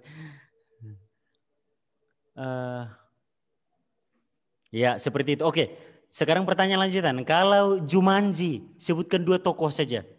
Atau oke, semua boleh. Jadi caranya sebutkan dulu perannya apa, baru nama tokohnya. Ayo, siapa? Rachel, oke. Okay. Uh, Dwayne Johnson, ya Kevin Hart, ya betul. Nick Jones, ya yang terakhir ada Nick Jonas, ya betul. Oke. Okay. Baik, bagus. Nah, seperti itu baik-baik. Perhatikan. Nah, itu terkait kalau film. Kalau tadi ingat baik-baik ada perbedaan antara identitas ya, identitas buku dan film. Kalau kalian mereview nanti kalian akan mengulas tentang buku, berarti identitas yang perlu kalian tulis itu mulai dari judul, penulisnya siapa, penerbitnya siapa, kota terbitnya uh, di mana, tahun terbitnya kapan, silahkan. Tebal halaman berapa, bebas. Kalau film beda lagi. Kalau film judul, judul filmnya apa. Terus aktornya siapa? Nah, aktor di sini perhatikan baik-baik. Boleh kalau kalau kalau Mister Mister beri kebebasan untuk menyebut sejauh yang kalian ketahui. Misalkan misalkan kalau kalian oh saya akan review film Avengers Endgame. Nah, berarti aktornya kan banyak Avengers namanya. Berarti kalian boleh sebutkan sebanyak yang tadi. Ya, seperti itu. Sebanyak yang Avengers tadi, Avengers semua boleh. Ya, uh, belum uh, belum tadi belum sebut Black Panther, Ya, yang penting-penting saja seperti yang pokoknya para Avengers mulai dari Black Panther, Doctor Strange, Hulk dan macam-macam. Iron Man, Captain America gitu. Nah, itu disebutkan. Lalu yang berikut. Nah, kalau dalam buku penulisnya siapa? Nah, kalau dalam film sutradaranya siapa? Nah, itu disebutkan. Sutradaranya siapa? Sutradaranya siapa? Lalu uh, produser, oke okay, kalau memang temukan produsernya siapa silahkan. Skenario, woi produksi, wes oke okay, boleh. Produksi, nah produksi ini misalkan seperti apa? Siapa yang tahu? Kalau produksi Avengers itu yang produksi apa? Namanya apa? Marvel ya? Iya betul, Marvel Studio productionnya. Ya seperti itu. Ya. Tanggal rilis, tanggal rilisnya kapan? Itu kalau film dan durasi. Nah, kalau tadi buku kan tebal halaman berapa? Kalau film durasi. Nah, Mister akan lebih senang kalau ada anak-anak yang rajin. Ingat kerjaan yang Mister tolong rajin. Rajin Mister akan kasih nilai plus. Rajin misalkan begini. Banyak film itu kan diangkat dari novel. Siapa di sini yang langsung ingat? Kalau misalkan Mister sekarang langsung tiba-tiba di kepala Mister adalah J.K. Rowling, buku Harry Potter dibuat jadi film. Sutradaranya siapa?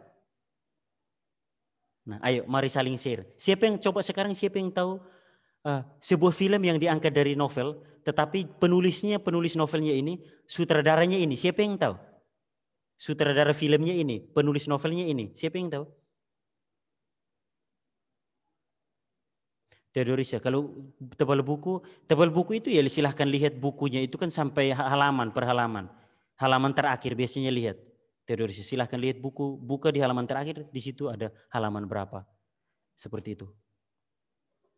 Oke, siapa Rachel bisa atau yang lain yang penyuka film boleh. Edeta boleh atau Pako. Pako silahkan. Sutradaranya Harry Potter itu David Yates apa gitu lah. Oke. Sementara penulis novelnya namanya apa?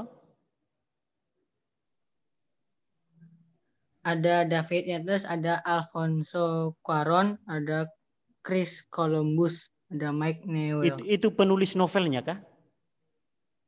Sutradara, Mister. Oh, sutradara. Iya, sekarang Mister tanya, nah itu sutradara sutradaranya. Kalau penulis novelnya namanya apa? Namanya siapa? Enggak tahu, Mister. J.K. Rowling, J.K. Rowling. Nah, seperti itu. Siapa lagi yang mau yang dia tahu misalkan film, oh, film ini judulnya ini eh, tapi diangkat menjadi film. Film judulnya ini, novelnya juga ada, tapi penulis dan sutradaranya beda.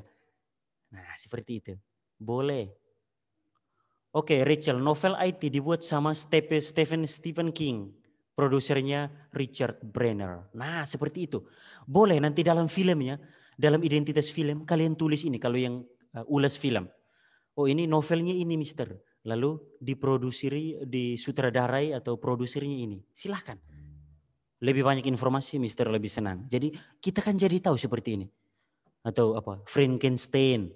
Itu ada novelnya lalu disutradarai oleh siapa. Oke, itu yang pertama, identitas karya.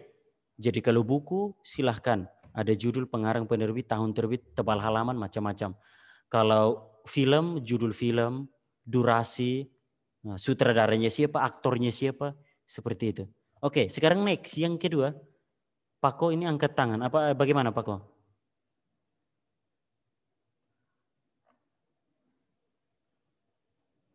Oke, ini ada dari Goldie. Penulis novel Avenger itu ada adalah Stanley, sutradaranya Joe Russo dan Anthony Russo. Oke, good job. Ya, sekarang kita lanjut yang kedua dulu. Waktu hampir selesai. Oke, aduh. Sinopsis.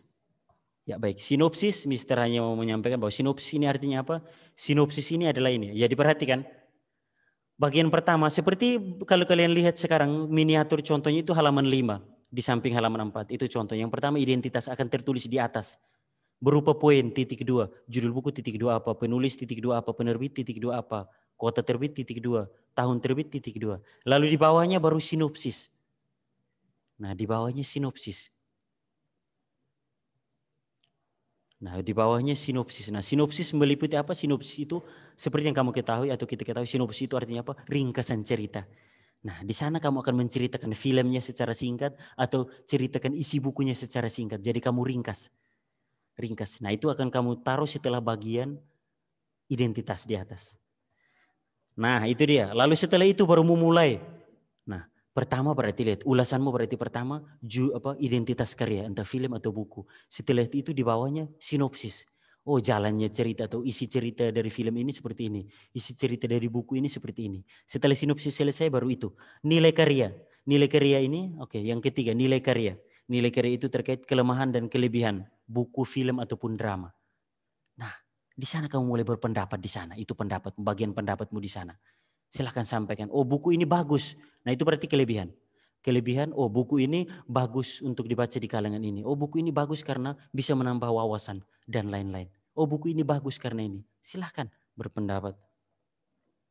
Ya, lalu oh kekurangan buku ini menurut saya adalah ini. Oh kekurangan menurut saya boleh bebas. Ingat tidak tidak usah khawatir karena ini adalah opini atau pendapat kalian. Buku ini menurut saya bagus eh, kurang bagus karena uh, buku isinya sudah sangat bagus menurut saya. Tetapi layoutnya, covernya itu kurang menarik menurut saya.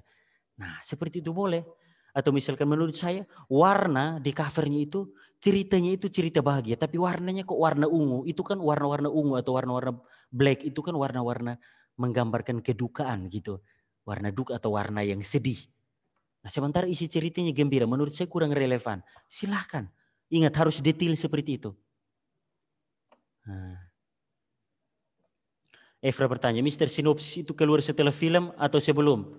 Biasanya kebanyakan sebelum kalau film. Kalau film biasanya kebanyakan sebelum. Efra. Biasanya sebelum film itu terbit, biasanya kan ada namanya dua jenis. Kalau teks, sinopsis tulisannya. Kalau enggak, bentuk video namanya trailer. Itu jawabannya. Relevan itu apa? Teodorisnya bertanya. Relevan itu artinya berhubungan, saling berhubungan. Relevan. Itu saling berhubungan. Oh, misalkan contoh kalimat. Oh, cover, warna cover dan isinya itu relevan. Artinya saling berhubungan. Begitu jawabannya Teodorisa. Paham ya? Relevan itu saling berhubungan. Oke. Okay. Ya, oke. Okay. Pelajaran semua pelajaran yang kita bahas ini baik matematika, fisika, bahasa Indonesia itu mempunyai relevan atau saling berhubungan. Seperti itu. Oke, Pako angkat tangan. Ada yang bisa Mister banting eh banting bantu? Mister. Yes. Tapi saya mau kritik, Mister. Oh, silahkan, silahkan, boleh, silahkan. Iya, Mister bilang kan hmm. apa uh, cover sama ceritanya kan harus relevan kan, Mister? Ya, oke. Okay. Misal misalnya begitu, juga, lalu hmm. enggak dengerin dulu. Oke, okay, kan okay. begitu. Silakan. Itu juga kan apa ya cover buku gambar juga harus sesuai dengan ceritanya kan apa dengan bukan dengan judulnya kan Mister Hmm.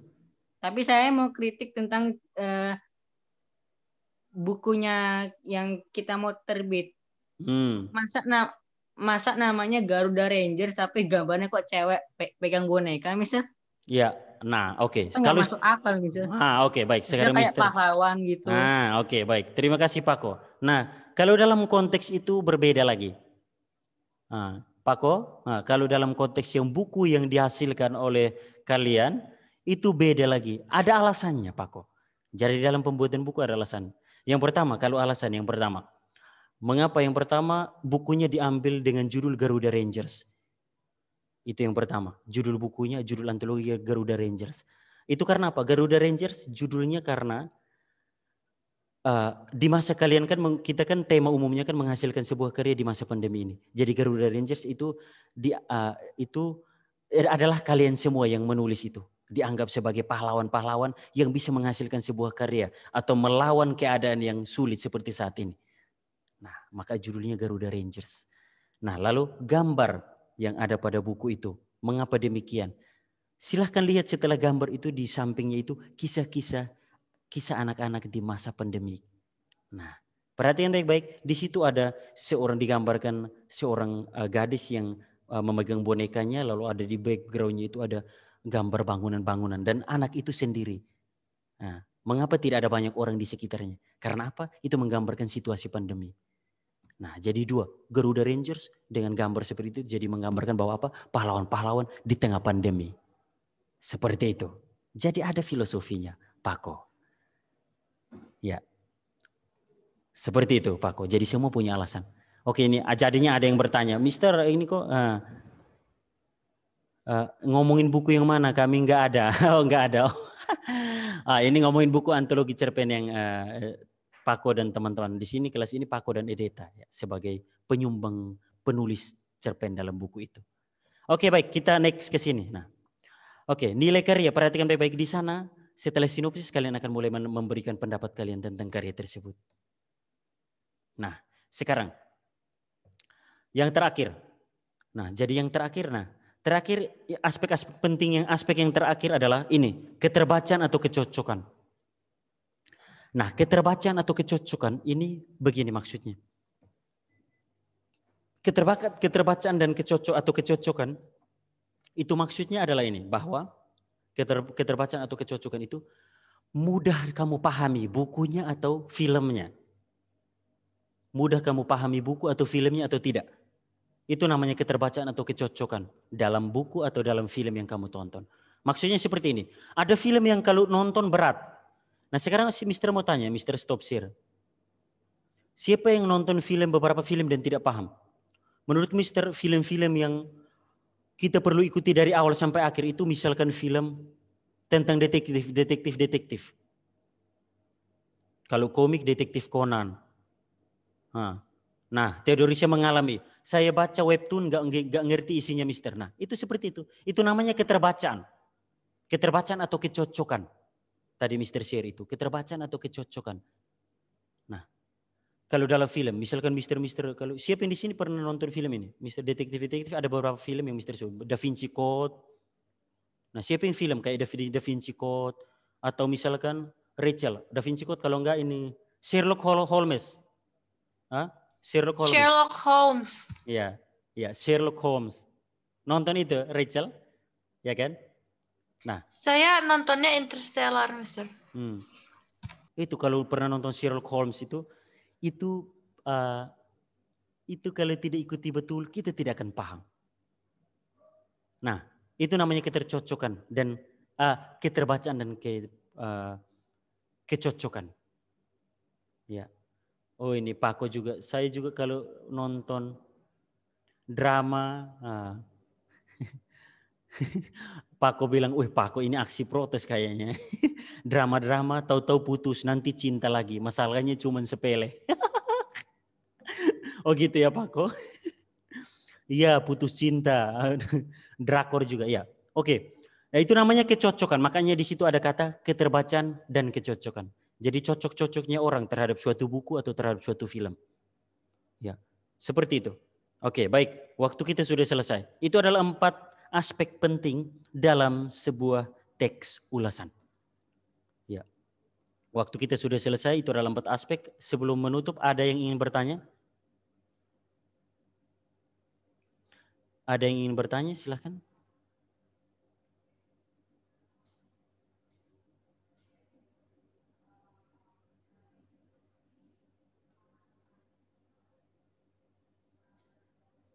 Oke, baik. Kalau begitu paham, silahkan kalau paham tolong beri reaksi kepada Mister. Paham ya yang Mister sampaikan? Oke, baik. Sip. Ingat belajar dengan Mister jangan takut untuk berpendapat. Silahkan sampaikan saja pendapat. Oke, baik. Banyak yang paham ya, semoga semuanya paham. Baik, kalau begitu mari kita akhiri pertemuan kita dengan berdoa. Silahkan uh, Theodorisa pimpin kita dalam doa penutup Teman-teman, mari kita berdoa. Tuhan, terima kasih atas pernyataanmu sampai hari ini Tuhan. Pada pelajaran terakhir ini kami masih bisa um, menyelesaikannya dengan baik. Yesus, biarlah apa yang diajarkan Mr. Robin dan guru-guru lain dapat kami ingat dan dapat kami review lagi mas uh, di waktu lain Tuhan. Biarlah Tuhan juga memberkati guru-guru kami yang sudah mengajar kami. Yesus berikanlah mereka kekuatan dan kesabaran dalam mengajar kami. Terima kasih Tuhan untuk berkatnya hari ini. Haleluya. Amin. Oke, terima kasih Theodorisha, terima kasih anak-anak kelas 8A. Mr. Akhiri dengan selamat siang, semangat selalu. Tuhan Yesus memberkati sampai jumpa hari Kamis, eh Jumat. Oke, baik anak-anak. Selamat semua.